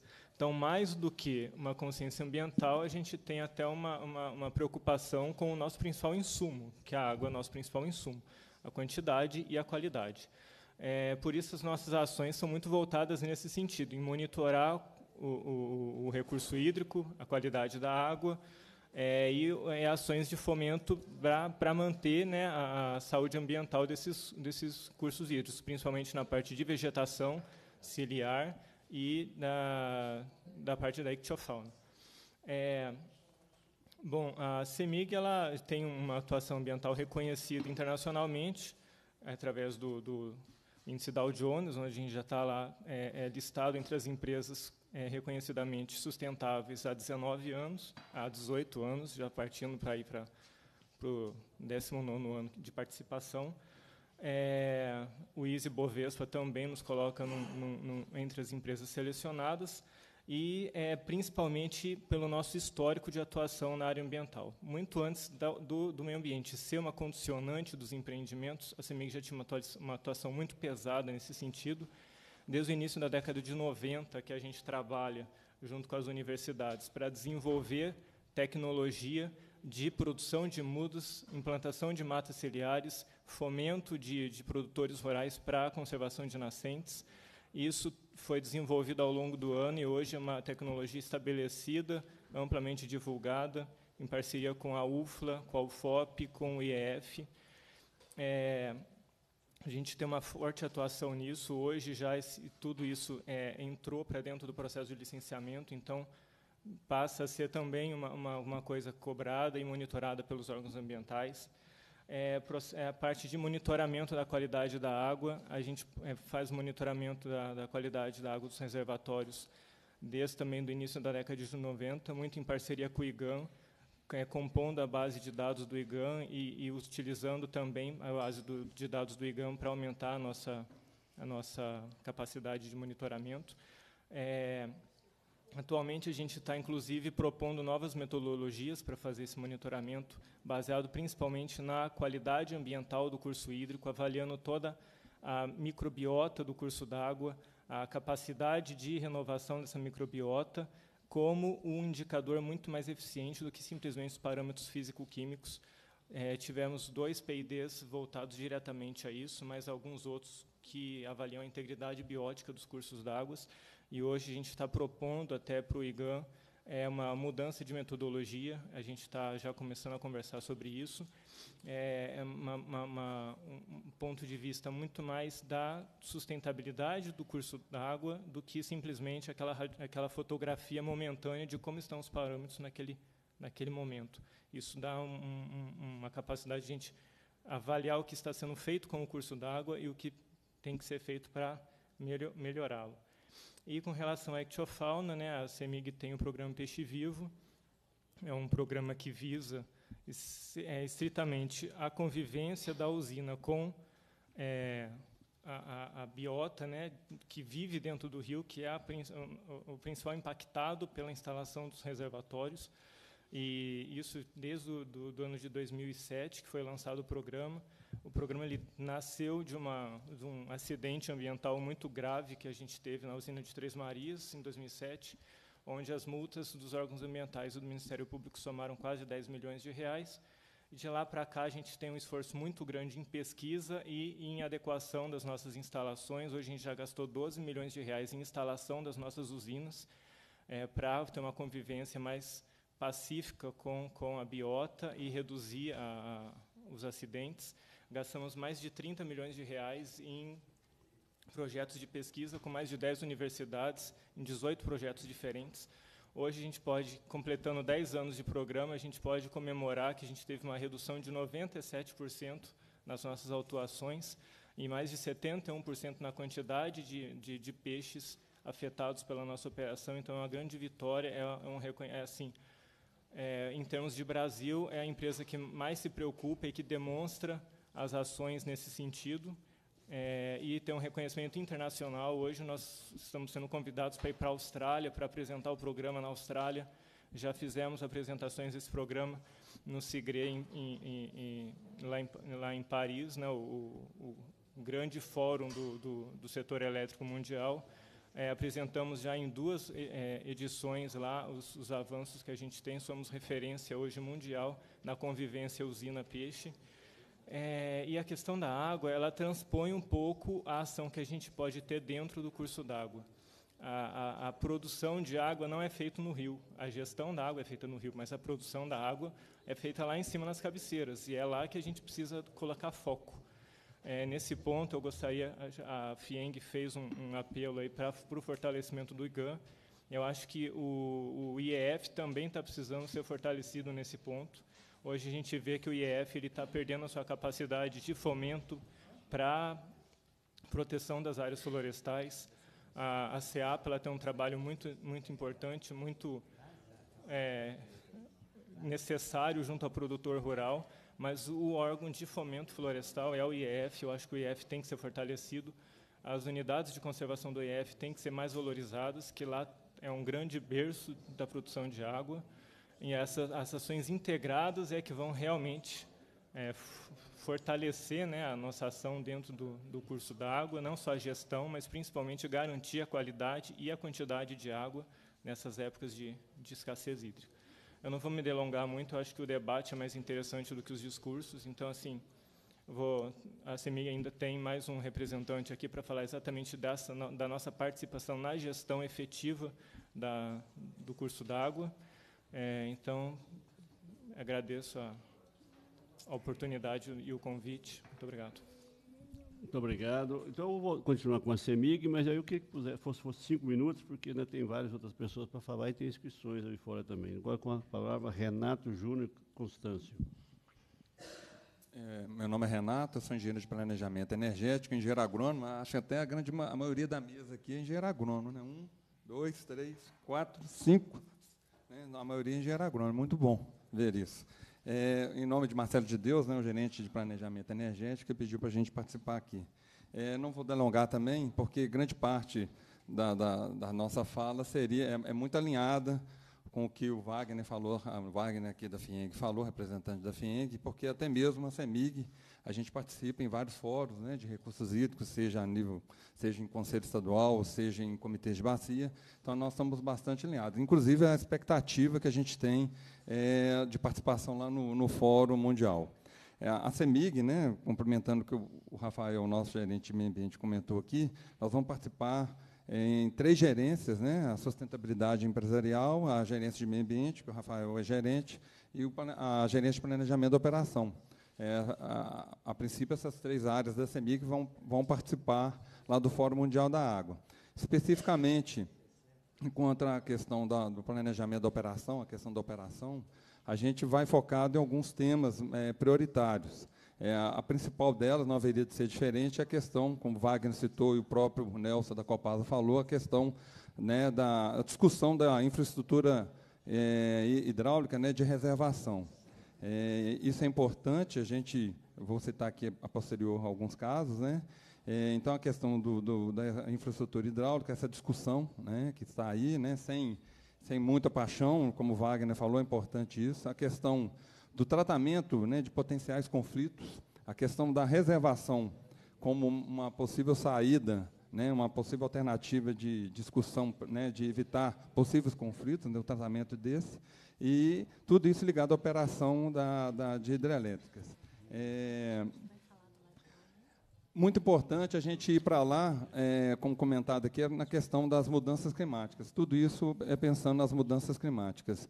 É, a CEMIG, é, na nossa visão né, do setor elétrico e da CEMIG, é, os, os, reservatórios, né, os, os, grandes reservatórios, né, os, os, reservatórios plurianuais ou de cabeceira, né, ou de grande reservação, eles vão ficar cada vez mais dependentes das afluências, ou seja, né, das águas, da água que chega ao reservatório. É, é, como resultado da chuva, né, em virtude da, da, mudança climática. A capacidade de reservação vem diminuindo ao longo dos anos, diante das dificuldades de licenciamento, né, de, de deslocamento de pessoas nos reservatórios, então o licenciamento tem ficado muito difícil e, a grande construção hoje de reservatórios, de, de usinas hidrelétricas no Brasil é a fio d'água, que é, tem dificuldade de garantir, né, a, a, a suprir a energia necessária para o nosso país. É, nós vamos na expectativa das experiências internacionais, como citado aqui, é, Austrália é, e Europeia, a questão do fortalecimento né, de comitês de bacia, que é o principal fórum onde precisa ser discutida a questão da, da água. É um apelo que a gente faz aqui, não vou ser o, o primeiro nem o último a, a pontuar essa, esse assunto de melhorar de fortalecer o sistema de gestão de recursos hídricos em Minas Gerais e, no caso, no nosso caso, o IGAN, que é o órgão gestor de águas de, né, de, águas de Minas Gerais, a gente precisa é, trabalhar isso. Eu, eu, gostaria de mostrar, de só informar aqui rapidamente, para não delongar, a importância é, dos reservatórios, né, como foi citado aqui, essa discussão tem que ser, a gente vai com esse foco lá no Fórum Mundial, a importância dos reservatórios, é, é, pode ser hidrelétrico ou não, na questão da regularização e da disponibilidade hídrica. É, Para vocês terem um conhecimento, nós, vou citar aqui reservatório de queimado no Rio Preto, né, Unaí, na região de Unaí, divisa com Brasília. É, o próprio reservatório de Três Marias, né, aqui na discussão da operação de São Francisco. É, nós temos o reservatório né, de Rio de Pedras, que é um reservatório assoreado aqui, a montante aqui de Belo Horizonte, foi citado aqui nessa gestão compartilhada para garantir o abastecimento público né, da região metropolitana de Belo Horizonte. E também, não, não poderia deixar de citar aqui, um reservatório lá de, de Machado Mineiro, no município de Águas Vermelhas, divisa com Ninheira. Né? Lá é é, são rios, é, aqui no caso do Rio das Velhas é um rio estadual, de domínio estadual, mas lá é um rio federal, é o Rio Pardo. Todos esses reservatórios, a CEMIG já vem operando desde 2013, pensando nos, nos usos múltiplos. Não é mais a geração de energia a partir da identificação né, da crise hídrica e a partir de 2013 em diante. Então, de lá para cá, a CEMIG tem sido transparente, participado de todos os fóruns de recursos hídricos, participado da sala de situação da, da ANA, tem sido é, propositiva é, para evitar, se não, não, tivesse essa operação preventiva, né, essa, essa, esse estudo prévio, é, nós teríamos muito mais conflitos em Minas Gerais, é, é locados em Minas Gerais, nesses exemplos que eu citei aqui muito rápido, né, é, do Rio Preto, é, e do Rio, no Rio Pardo, lá na região de Águas Vermelhas, né? o próprio reservatório de Irapé, que é importante. Então, a gente mudou a política operativa, fizemos testes de defluências, né? a, água, a água que sai do reservatório. O impacto desse, da, dessa mudança de política operativa, né? É, para poder garantir a perenidade, a regularização do rio até vir o próximo período chuvoso, para possibilitar o repressionamento, a recuperação do reservatório. E até hoje, né, a gente, é, foi um grande aprendizado para a CEMIG, porque o nosso mote principal era a questão de controle de cheias. Né? É, a grande experiência que sempre tivemos foi a questão do controle de cheias, e de 2012 para cá, o, a, a, grande conversa, né, a grande experiência é a questão de convívio com a crise hídrica. E a gente tem conseguido, né, com, com participação, colaboração de outros atores, participação em comitês, nos fóruns, a discussão participativa, né, democrática, a gente tem conseguido é, evitar possíveis conflitos, como eu citei aqui. Então, é a experiência que a gente tem, essa é a nossa expectativa, é muito alinhada à expectativa que a FIENG e a Copasa falou, né, nas falas também do Rafael, nosso gerente aqui de meio ambiente. Então, era essa a informação que a gente gostaria de trazer aqui, e na expectativa de participar e pensar nessa, na questão da infraestrutura hidráulica, né, de reservação, como citou é, muitos citaram aqui. Obrigado. Muito obrigado. Representante também da CEMIG, agora o Guilherme da Silva Viveira, na vista ambiental da Federação da Agricultura e Pecuária do Estado de Minas Gerais, representando aqui o Dr. Roberto Simões, presidente da FAENG. É, primeiramente, boa tarde, né, já passo do meio-dia. Agradecer à comissão pelo convite, em nome do nosso presidente, o Roberto Simões e falar muito do que eu ia dizer aqui já foi dito por vários, então vou tentar é, evitar aqui repetir alguns assuntos, mas é, não vai ter jeito de não citar outros. É, primeiramente, é, quando a gente fala de água, não tem como não falar do produtor rural mais de 80% das áreas do Estado são áreas rurais. É onde estão as nascentes, onde estão as matas, as, as, áreas, as APPs, as matas ciliares. Então, o produtor rural, é, ele tem que ser, a participação dele nesses processos tem que ter um um protagonismo fundamental. A água, ela é, ela, o ciclo hidrológico, a água precisa infiltrar no solo, ela é respirada pelas plantas, transpiradas. Os rios correm, na sua grande maioria, dentro das propriedades rurais. E todo mundo aqui, a gente viu diversos setores, falou recuperação de nascente, mata ciliar, e isso está na propriedade rural. Dentro das cidades, a gente sabe que as, as APPs não são respeitadas, inclusive é um ponto que a deputada Marília falou aqui, tem que trazer também é, as cidades para discutir a água, porque chega na hora que entra nas manchas urbanas, vamos dizer assim, a água ela é altamente contaminada. Não estou falando que no meio rural não há contaminação, há, temos que melhorar muito. Mas é, a questão é, falta esse componente das cidades aqui os planos diretores das cidades têm que ser melhor construídos e respeitar a questão de água, tanto na qualidade como na infiltração de água dentro das cidades. É, como o Wagner falou aqui, a, no ano passado, na Praça da Liberdade, foi feito o evento Minas no Caminho das Águas, que era um evento preparatório para o fórum. Nós, junto com a FIENG, nós tivemos um stand lá onde nós apresentamos uma proposta, é, várias propostas do setor, e a gente quis mostrar, aproveitar o momento da gente estar dentro da capital, dentro de uma cidade, a importância do produtor rural também na produção de água.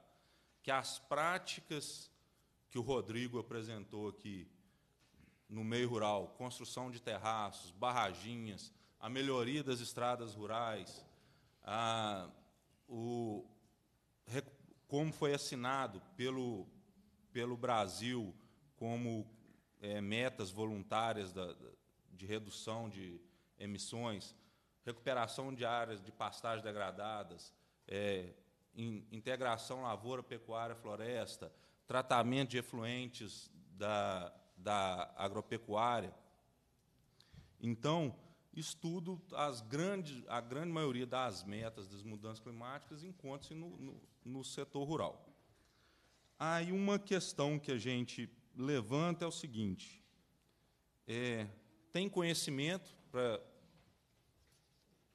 gerado na, nas universidades, nas academias, tem pesquisa, muita pesquisa feita no setor, tem tecnologia gerada a partir de estudo, e muitas vezes isso não chega ao campo. Por que isso não chega ao campo? A gente vê a Emater aí, que ela é uma entidade que tem alta capilaridade dentro do Estado, mas é uma entidade que tem poucos funcionários. Os funcionários da, da Emater são verdadeiros heróis, que a gente fala. Um, às vezes tem um funcionário para o município inteiro, e o cara tem que entender de café, de boi, de galinha, de frango, de horta, de prática mecânica, um só. Então, se a gente não tiver uma extensão rural mais firme, mais forte, essa tecnologia nunca vai chegar da maneira que ela precisa chegar no campo e reverter essa situação com mais celeridade. Está sendo feito, há várias ações, mas ainda o, o desenvolvimento é lento. Um outro ponto que eu queria destacar é a integração das ações. Muitas vezes, a Secretaria de Meio Ambiente tem um programa, a SEAPA tem outro programa, a Copasa tem outro programa, a FIENG tem um programa, a OSENG tem um programa, a FAENG tem um programa, a CEMIG tem um programa, está todo mundo desarticulado, cada um fazendo sua ação. Então, eu acho que a gente tinha que aproveitar as estruturas dos comitês de bacia, que muitos comitês têm planos de, de bacia estruturados, já onde foi delimitado as prioridades, e na, as empresas, as entidades e o próprio governo, nós temos que planejar essas ações dentro dos comitês, para que as ações sejam realmente efetivadas de forma é, a atender às prioridades levantadas pelos comitês. Então, essa integração, eu acho que ela é muito importante. Nós temos que integrar melhor essas ações. Uma outra coisa que o Rodrigo falou aqui, a gente faz terraço, aí tem muita gente que faz, fiz tantos quilômetros de terraço, fiz não sei quantas mil barraginhas, consertei não sei quantos mil quilômetros de estrada. Outra coisa, as práticas agrícolas também isoladas, elas não têm a eficiência necessária, elas têm que ser integradas. Na área que eu estou construindo terraço, essa pastagem que eu estou construindo terraço, ela está sendo recuperada? O plantio está sendo feito com plantio direto? Os carreadores e as estradas rurais estão sendo recuperados de forma adequada? que estrada rural é um grande problema que a gente tem também. E ajuda enormemente nessa questão de evitar o assoreamento do rio e retenção de água. Então, a gente tem que integrar essas ações dentro das propriedades rurais e dentro das instituições. instituições representativas, de governo, ONGs, quem for, comitês, tem que planejar isso dentro do comitê. Outra coisa também, um ponto que a gente tentou, eu levantei aqui. É, a gente tem uma crise, muita, todo mundo fala da crise hídrica. Essa é a nossa crise. Ela é uma crise hídrica realmente? Ou ela é uma crise de planejamento? Ou ela é uma crise de gestão? Eu acho que muito mais que uma crise hídrica, ela é uma crise de planejamento e gestão. A gente vê esses reservatórios aqui da Grande Belo Horizonte de abastecimento, eles foram planejados há mais de 20 anos. A população vem aumentando, ninguém previu, previu isso, que ia aumentar. Então, a gente tem que ter um planejamento a longo prazo e tem que criar condições para seguir esse planejamento e gerir isso. Como que a gente vai gerir? Reservando água, fazendo monitoramento da quantidade, da qualidade da água, água subterrânea, que é uma coisa importantíssima, foi pouco falado. A água subterrânea, a gente não tem muito conhecimento da água subterrânea, o que é usado, o que não é. Nessa crise aí, a gente viu que teve uma explosão de abertura de poço artesiano. Isso vai influenciar? Que tanto que vai influenciar? Vai influenciar, vai, mas que tanto? O impacto vai ser significativo, não vai? Então, são questões que a gente tem que integrar também nesse processo de estudo. E uma outra coisa que eu queria falar, também aproveitando que foi citado aqui a questão do desenvolvimento sustentável, os ODS, né, os Objetivos de Desenvolvimento Sustentável do Milênio, o setor agrícola, dos 17, pelo menos 13, o setor agrícola está diretamente ligado. Não tem jeito de cumprir o desenvolvimento do, do milênio se não tiver pelo menos esses 13. Eu citei alguns aqui.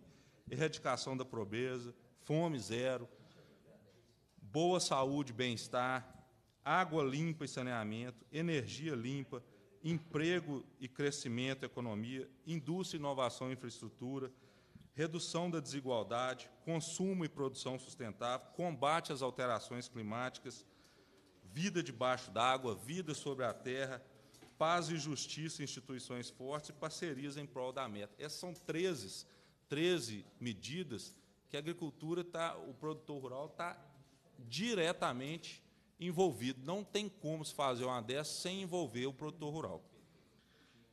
Então, é, essas são algumas questões que eu queria deixar aqui, levantar e mostrar a importância do setor para a produção de água, reservação de água e ajuda na melhoria da qualidade da água. Na questão do Fórum Mundial da Água, a FAENG vai participar junto com a nossa Confederação Nacional da Agricultura, CNA. É, e lá nós vamos apresentar no estande a água em alguns ciclos é, é, de produção ligados ao setor rural. Então, nós vamos ter palestras lá, água no ciclo de produção de café, no ciclo da produção de cachaça, água no ciclo da produção de hortaliças, na produção de frutas, na produção de arroz, na produção da pecuária, carne, leite, na, no ciclo de produção do pescado e na produção de aves e suínos. São as principais cadeias que o Brasil é grande produtor e exportador, e nós queremos mostrar a importância da água e como a gente essa água entra nesse ciclo de produção para produzir um alimento que a gente entende que o alimento é um, é um, é um produto nobre. Né? Ninguém vive sem, tanto quanto a água, o alimento também é um produto nobre. E um outro fator é, que a gente queria falar no caso da reservação de água é o auxílio disso na irrigação, a importância que essa reservação de água traz também na irrigação. Quando está chovendo, que é onde tem a grande quantidade de água, a gente não precisa irrigar, porque está chovendo, cai água no campo.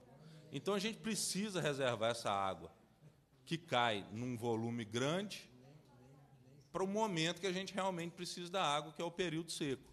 Então, essa reservação, como Wagner falou, passa um volume grande nos rios e vai embora, e a gente não aproveita. Então, a gente tem que achar um mecanismo de reservação, regularização desse fluxo, para o uso múltiplo da água, não só a agricultura, a irrigação, a dessedentação de animal, mas também o lazer, o turismo, o consumo é, dentro da cidade. Então a gente tem que envolver tudo, é, todo mundo nisso aí, nessas, nessas grandes, é, nesse tema que é a reservação de água. Eu gostaria de ler aqui também um, uma carta de posicionamento que a, a, o setor vai apresentar no Fórum das Águas. Foi feita com é uma, uma página, duas páginas. Foi feita com diversas é, associações e federações. A gente fez lá na CNA essa carta que a gente vai apresentar no fórum. Então é o seguinte, vou ler aqui. O setor agropecuário brasileiro, com mais de 5 milhões de produtores rurais, congratula os participantes do Conselho Mundial da Água e o governo brasileiro na organização do oitavo Mundial do Fórum das Águas, no oitavo Fórum Mundial das Águas. A água será o tema de maior importância mundial do século XXI, o que suscita a necessidade de discutir as profundas implicações sociais, econômicas e ambientais no âmbito da sociedade brasileira e mundial, particularmente no que se refere à sua vital importância para atender às crescentes necessidades de segurança alimentar. O oitavo Fórum Mundial da Água fornece uma oportunidade única de debate dos principais problemas e soluções relacionadas ao tema, e é nesse sentido que os produtores rurais brasileiros chamam a atenção para as seguintes mensagens e recomendações. 1. Um, a atividade agropecuária brasileira tem altos índices de sustentabilidade. Possuímos 66,3% das áreas com vegetação nativa no Brasil, dos quais 34% encontram-se em propriedades privadas, o que representa uma área equivalente à Alemanha, Espanha, França, Itália e Bélgica. Esse ativo ambiental deve ser reconhecido e sua manutenção incentivada por meio de investimentos em tecnologias que verticalizem a produção, principalmente o uso sustentável da água. A ampla difusão de tecnologias ligadas à eficiência do uso da água, particularmente a irrigação, promove o desenvolvimento regional, aumento do índice de desenvolvimento humano, o IDH, geração de renda e criação de empregos, além de garantir a segurança alimentar devendo ser incentivada. O quarto, assegurar que as áreas suscetíveis a secas severas tenham facilitados o acesso à tecnologia, ao crédito e ao mercado, potencializando a, a propriedade rural como uma unidade de negócio. O Brasil, com cerca de 7 milhões de hectares irrigados, é um dos poucos, se não o único país do mundo com capacidade de triplicar a área com sustentabilidade, aumentando a oferta de alimentos, fibras e bioenergia para o mundo. O Brasil utiliza apenas 2,6% de sua vazão para fins de irrigação, já desconsiderando a contribuição das bacias amazônicas. A reservação de água, da água para usos múltiplos e, particularmente, para a produção de alimentos, fibras oleaginosas e biocombustíveis, deve ser adotada como uma ação de segurança nacional. O envolvimento dos agricultores de todo o mundo no esforço da gestão responsável da água deve ser potencializado com incentivos positivos à racionalização do uso de recursos hídricos. Para isso, é necessário que os governos, organismos internacionais, organizações não governamentais, empresas, consumidores e etc., reconheçam os produtores rurais como parte da solução dos problemas de gestão da água. Nesse caso, pode ser citada uma série de boas práticas agrícolas que contribuem na conservação do solo e oferta de água.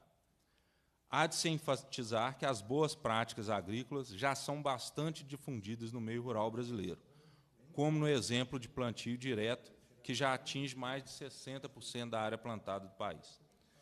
Os serviços ambientais das áreas rurais geram externalidades positivas que beneficiam a sociedade, porém tem seu custo assumido pelo produtor rural, sem qualquer tipo de compensação ou pagamento.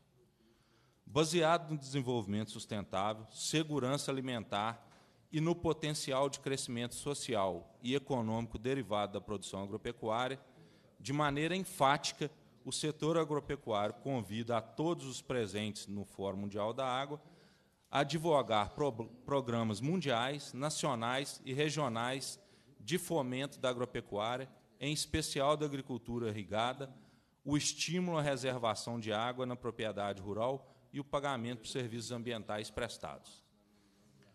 Essa é a carta que será apresentada lá. E para já não estendendo mais, eu fico por aqui Muito obrigado. e agradeço. A... Muito obrigado, Guilherme da Silva Oliveira, representando aqui a FAENG. Agora o último, é, Rogério Pena Siqueira, presidente da Associação Brasileira de Engenharia Sanitária de Minas Gerais. Boa tarde a todos, presidente. Obrigado pelo convite. A ABS é uma associação brasileira de engenharia sanitária e ambiental, presente em todos os estados do Brasil. É, em Minas Gerais se faz presente em quase todos os comitês de bacia, é, participa do COPAN ativamente é, e estamos aqui para debater esse tema importante, é, que é a questão da água no Brasil e do Fórum é, Mundial da Água lá em Brasília na próxima semana. É, eu fiz uma apresentação que eu, eu, eu creio melhor não fazê-la, não apresentá-la totalmente, mas queria passar por ela rapidamente. Peço que ponham na tela, se, se possível. É, enquanto vai para a tela, eu queria falar é, primeiro sobre o acidente lá do Mineiroduto. Né? A gente fala de transposição de São Francisco, mas Minas Gerais faz uma transposição para o mar de água, numa quantidade é, que, a, que a gente tem que parar para pensar nisso, ou seja, transportar minério via água. Será que isso é racional no tempo que a gente vive? Isso é uma pergunta. Nós temos dois grandes minerodutos que transportam água para o mar, portanto, inutilizam a nossa água. Né? É, então, eu acho que é uma questão que esta Assembleia, que Minas Gerais, como, como um, um Estado do minério, devia começar a pensar. Né? Transportar, água, transportar minério é, por via da água. Esse é um ponto que temos que pensar, porque será isso racional? Né? Ah, outra coisa da questão da água, e aí eu passo a minha apresentação, é, nós estamos vivendo um momento difícil na questão do saneamento, que tem muito a ver com a água.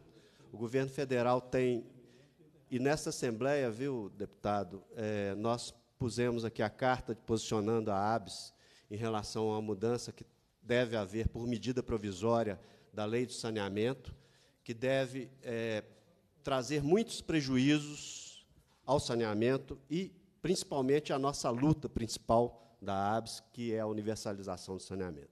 É, essa medida provisória ela está focada muito na questão de resolver o problema da dívida do Rio de Janeiro.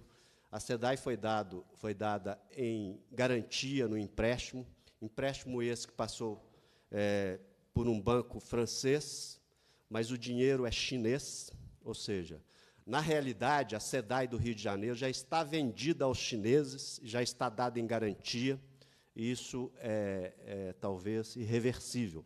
Mas, por conta disso, modificar a lei de saneamento através de uma medida provisória é inaceitável, e isso nós vamos levar para o Fórum Mundial da Água nesse momento. Né? É, a forma da, da modificação coloca em risco, inclusive, é, a sustentabilidade do saneamento nas cidades, principalmente as cidades que não derem lucro, porque prevê a privatização do saneamento de tal forma, tão agressiva, que as cidades que não são superavitárias no saneamento não terão saneamento no Brasil, ou seja, a universalização está em risco a partir dessa, dessa medida provisória. E nós, da ABS e outras associações, vamos atravessar do Congresso é, para é, a justiça se essa, se essa medida provisória for publicada. Foi uma lei que, no Brasil, demorou 10 anos em discussão no Congresso e agora querem modificá-la de uma forma estapafúrdia que, e sem justificativa. Portanto, essa é a nossa luta hoje. E minha apresentação fala exatamente disso, com muitos detalhes. Eu deixo a apresentação aos deputados. Se quiserem, acho que é, é, é motivo, inclusive, de uma audiência específica, se for o caso, porque aqui não vai dar para esgotar o, o tema. Bom, eu é, digo sempre, e aqui eu estou comprovando, é, que a água é uma só no mundo. A mesma água que se bebe hoje descendentou os dinossauros. E por falta dela eles morreram. Ou seja, um grande acidente né, do, do, do meteoro, e foi principalmente a disponibilidade hídrica que fez é, esse ser desaparecer do mundo. É, e aqui eu fui no Google e trouxe uma imagem, porque tudo que se acredita hoje é via imagem. Né? Então o Google fala a verdade, está lá o dinossauro bebendo água. O dinossauro bebia água, viu, gente? E é a mesma água que a gente bebe hoje. Tá? Bom, vou passar em linhas gerais. A lei modifica, inclusive, as competências da ANA, ou seja, o que se prevê no governo federal a modificação da lei é, de, que institui a ANA. E a ANA, Agência Nacional de Águas, passa a ser o órgão regulador do saneamento ok? Sendo que hoje a gente tem uma estrutura muito bem feita no Ministério das Cidades e que é regulada por, é, é, é, por um, um, colegiado nacional, né, que, que é o Conselho das Cidades, desculpa. Então, é, nós somos contra essa, esse tipo de modificação. Né? Várias consequências né, que, que a gente coloca dessa modificação, né? e que vão dar muito prejuízo à questão do saneamento no Brasil. Eu falei aí da venda da SEDAI, inclusive lá está escrito é, que os recursos, esse recurso da privatização das empresas de saneamento estaduais, poderão ser utilizados no saneamento, ou seja, não diz que está obrigado a utilizar os recursos da venda da SEDAI em investimento em saneamento. Está escrito poderá. E esse poderá lá, a gente já sabe o que é. O empenho do recurso já está no governo do Rio, já foi gasto.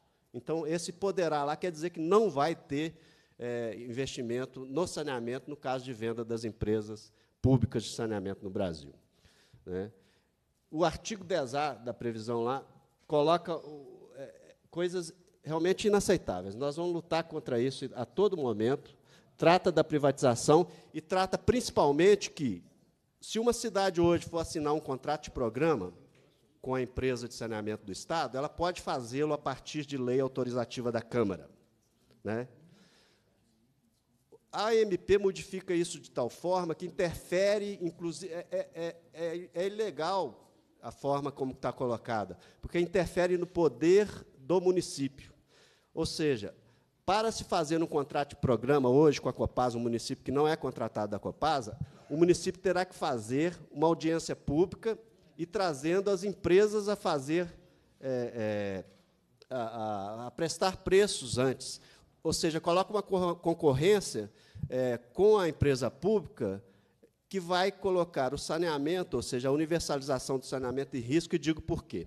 Hoje, a Copasa tem uma tarifa que é uma tarifa é, única no Estado. Isso significa que a Copasa faz um subsídio cruzado, ou seja, o município onde não é lucrativo é mantido com o saneamento através da, do lucro dos outros municípios. E o que, que acontecerá se, se, se abrir na forma que está colocando? Os municípios que dão lucro serão atendidos por empresas privadas e os municípios que não têm sustentabilidade econômica não serão atendidos simplesmente, ou seja, não haverá procura para esses municípios. E, naturalmente, a Copasa também não terá interesse de atender esses municípios na extensão. Então, está é, é, tá, tá se colocando em risco uma discussão de 10 anos no Congresso Nacional. Então, o nosso posicionamento, é, a ABS Nacional vai fazer esse posicionamento. É, tem algumas coisas que parecem boas, é, porque junto com alguma coisa tão agressiva tem que colocar algum, algumas coisas positivas para adoçar e para tentar maquiar. Né? é, mas nós é, não concordamos. É, sabemos que a lei deve, pode ser modificada, ela, ela é de 2007, entretanto, que seja por proposta de lei e que isso seja por discussão no Congresso e que a gente possa participar, todos nós, já que é uma medida provisória, vira lei no dia seguinte. Então, o posicionamento da ABS será esse no, no Congresso. Nós estamos tratando disso. Fizemos é, inclusive, comunicação a todos os, os, os deputados aqui desta casa, ao governador do Estado, sobre essa questão, para alertar isso. Aproveitando esse dia, acho que é, é a gente tinha que estar aqui mesmo. Né? E quero agradecer é, ter convidado a ABS. A ABS é uma instituição, eu quero reforçar isso, técnico-científica. Ela produz material nessa área, nós é, trabalhamos com publicações técnicas, é, mas não podemos nos furtar a trabalhar a questão de políticas públicas nesse momento. É, por fim, como aquela imagem era do Google, né, eu trouxe aí uma imagem que foi desenhada por alguém, Henrich, né, que talvez dê mais credibilidade. Ou seja, a água é única no mundo, é um recurso finito, né, e, e a gente tem que pensar é, em como gerenciar esse recurso. Eu quero dizer que muito foi falado aqui da agricultura, é, da indústria. É, o consumo humano é, no Brasil representa cerca de 10% do uso da água. A indústria, cerca de 20%. Não, eu estou pondo arredondado. E a agricultura, 70% da, do uso da água no Brasil. Então, se os problemas né, é, é, eles também têm que ser divididos, talvez, nessa proporção. Apesar da agricultura sempre é, ser o ponto, ser o local onde se produz água, onde mais se produz água no Brasil, também é onde mais pode se fazer em termos é, de, de, de uso racional da água. Né? Pensemos, por exemplo, Israel tem uma pluviometria de 100 milímetros por ano e produz. Belo Horizonte tem 1.100 milímetros, são 11 vezes Israel. Portugal e Espanha, 20, 200 milímetros por ano. Né? E tem, tem uma alta produtividade na agroindústria. Todos dois e Israel. O Brasil ainda tem muito que caminhar nessa questão. Então, assim, nós temos, é, se é um desafio, né, se é um problema, também é uma grande oportunidade que a gente tem nas mãos a questão do, da, da gestão das águas. Então, eu queria agradecer essa casa. Estamos sempre à disposição para discussão. Ela é muito mais profunda do que está colocado, mas, dado ao, ao tempo, eu quero agradecer em nome da ABS, me colocar e colocar a ABS à disposição. Nós temos câmaras temáticas que discutem vários temas, esgoto, é, é, é, resíduos, né? É, e, e, outros temas do saneamento. Então, a nossa produção é muito grande. Visitem o nosso site, associem-se a ABS Minas Gerais, para que a gente possa manter essa luta, que é da universalização do saneamento, que é muito mais do que só o saneamento, é a universalização da saúde. Um real investido em saneamento devolve quatro reais, ou seja, economiza quatro reais ao Estado, em termos de saúde preventiva. Então, era isso que eu queria deixar de mensagem e agradecer a todos a paciência de me ouvir. Obrigado. Muito obrigado, Rogério Pena Siqueira, presidente da ABAS, seção Minas Gerais, ABS. Eu vou abrir a palavra para duas pessoas, mas vai ter dois minutos. É, a pessoa se chama Adriana Araújo.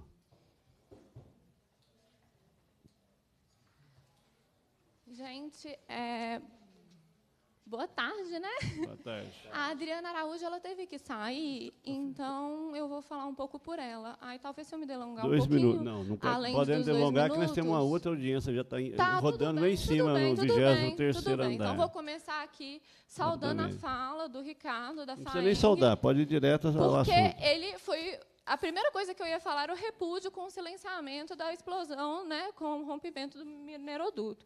Então, eu vou direto nas perguntas. As perguntas que eu tenho são três. Algumas são direcionadas e outras são para todas as pessoas. Uma das perguntas é, na verdade, a preocupação em não ter ninguém da sociedade civil. Eu gostaria depois de uma explicação sobre isso, apenas. A sociedade Gostaria civil está representada pela. Está toda a Abis- representada. a Abis- ah, então é por isso que realmente foi a melhor fala.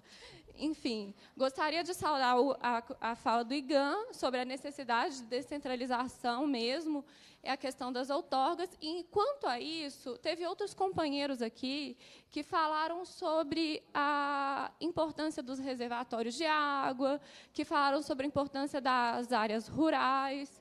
E aí eu pergunto para o, para o IGAN e também para essas outras pessoas que falaram da importância das nascentes, o que, que vocês pensam sobre Vargem das Flores? Porque Vargem das Flores é um reservatório de, de água que fica é, no, na região metropolitana, que atende 500 mil pessoas, abastece 500 mil pessoas, e, atualmente, ela está é, é, é, impedida, né? tem um- uma grande chance de que ela se torne um perímetro urbano na região, por causa do plano diretor de contágio. Então, gostaria de saber o que vocês pensam sobre isso. Gostaria também de saber é, sobre a mineradora Santa Paulina na Serra do Rola Moça. É, eu, eu não me apresentei, eu falo pelo Movimento Serra Sempre Viva, pelo Mo- Comitê em Defesa de Vargem das Flores e também sou amiga do Movimento Mineiro pelo Direito dos Animais, como a gente está aqui. Então, gostaria de saber sobre a mineradora na Serra do Rola Moça, Santa Paulina, que está em processo de reativação e que está a 900 metros do manancial. É muito importante, realmente, que o IGAM passe a fazer estudos mais profundos, porque a gente tem visto várias problemáticas devido a estudos superficiais. E a minha última pergunta é sobre o Fórum Mundial das Águas. Porque aí eu vou fazer uma inquietação, que é para todo mundo, quem quiser responder, não precisa ser todos, claro. Mas o Fórum Mundial das Águas, na verdade, assim, devia ser chamado de Fórum Mundial das Corporações. Porque não é segredo para ninguém que o Fórum Mundial das Corporações, como eu disse, está debatendo a mercantilização das águas. Então, quem puder esclarecer algo, falar sobre isso, acho que eu consegui fazer os dois minutos, né? Deixa eu te falar. Muito obrigado. Obrigada. O- nós não temos mais tempo. O- eu vou a, a suas perguntas foram gravadas. Nós vamos encaminhar aqui para as pessoas, porque nós temos um tempo super limitado. Nós estamos com uma outra audi- audi- audiência lá no 23 terceiro. Então nós estamos caminhando para lá. Nós vamos a- os seus questionamentos foram gravados e encaminharemos para as autoridades. Quanto à questão da sociedade civil, um dos que foram também um dos que foram também convidados foi o projeto Manuelzão.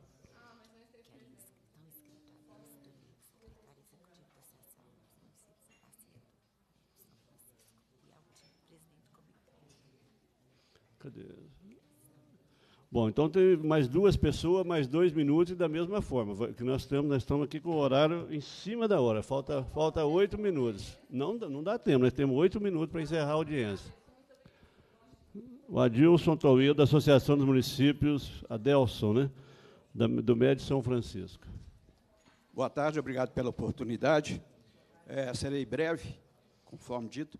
É, Adelso, Asso- Associação dos Municípios da Bacia do Médio São Francisco e secretário do Comitê de Bacia Hidrográfica do Jequitaí Pacuí e trecho do São Francisco.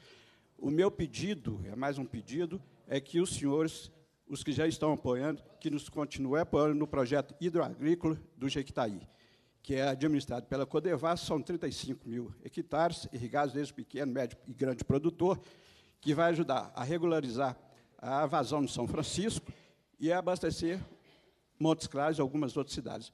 É bem breve, só isso que eu dizer. E o nosso, prazo, o nosso próximo passo, que eu queria fazer o convite aos senhores e às, às entidades, é que estivesse no- na nossa audiência com o ministro da Integração Nacional, no próximo dia 21, às 10 horas, no gabinete dele, em Brasília, para tratar exclusivamente desse projeto. E que já é prevista, então, a assinatura da nova licitação para a continuidade das obras. Obrigado. Muito obrigado, senhor Adelson. Agora com a palavra, Altino Rodrigues Neto, do Comitê do Entorno de Represa de Três Marias. Bom dia a todos, obrigado pela oportunidade. Primeiro, gostaria de parabenizar por essa iniciativa.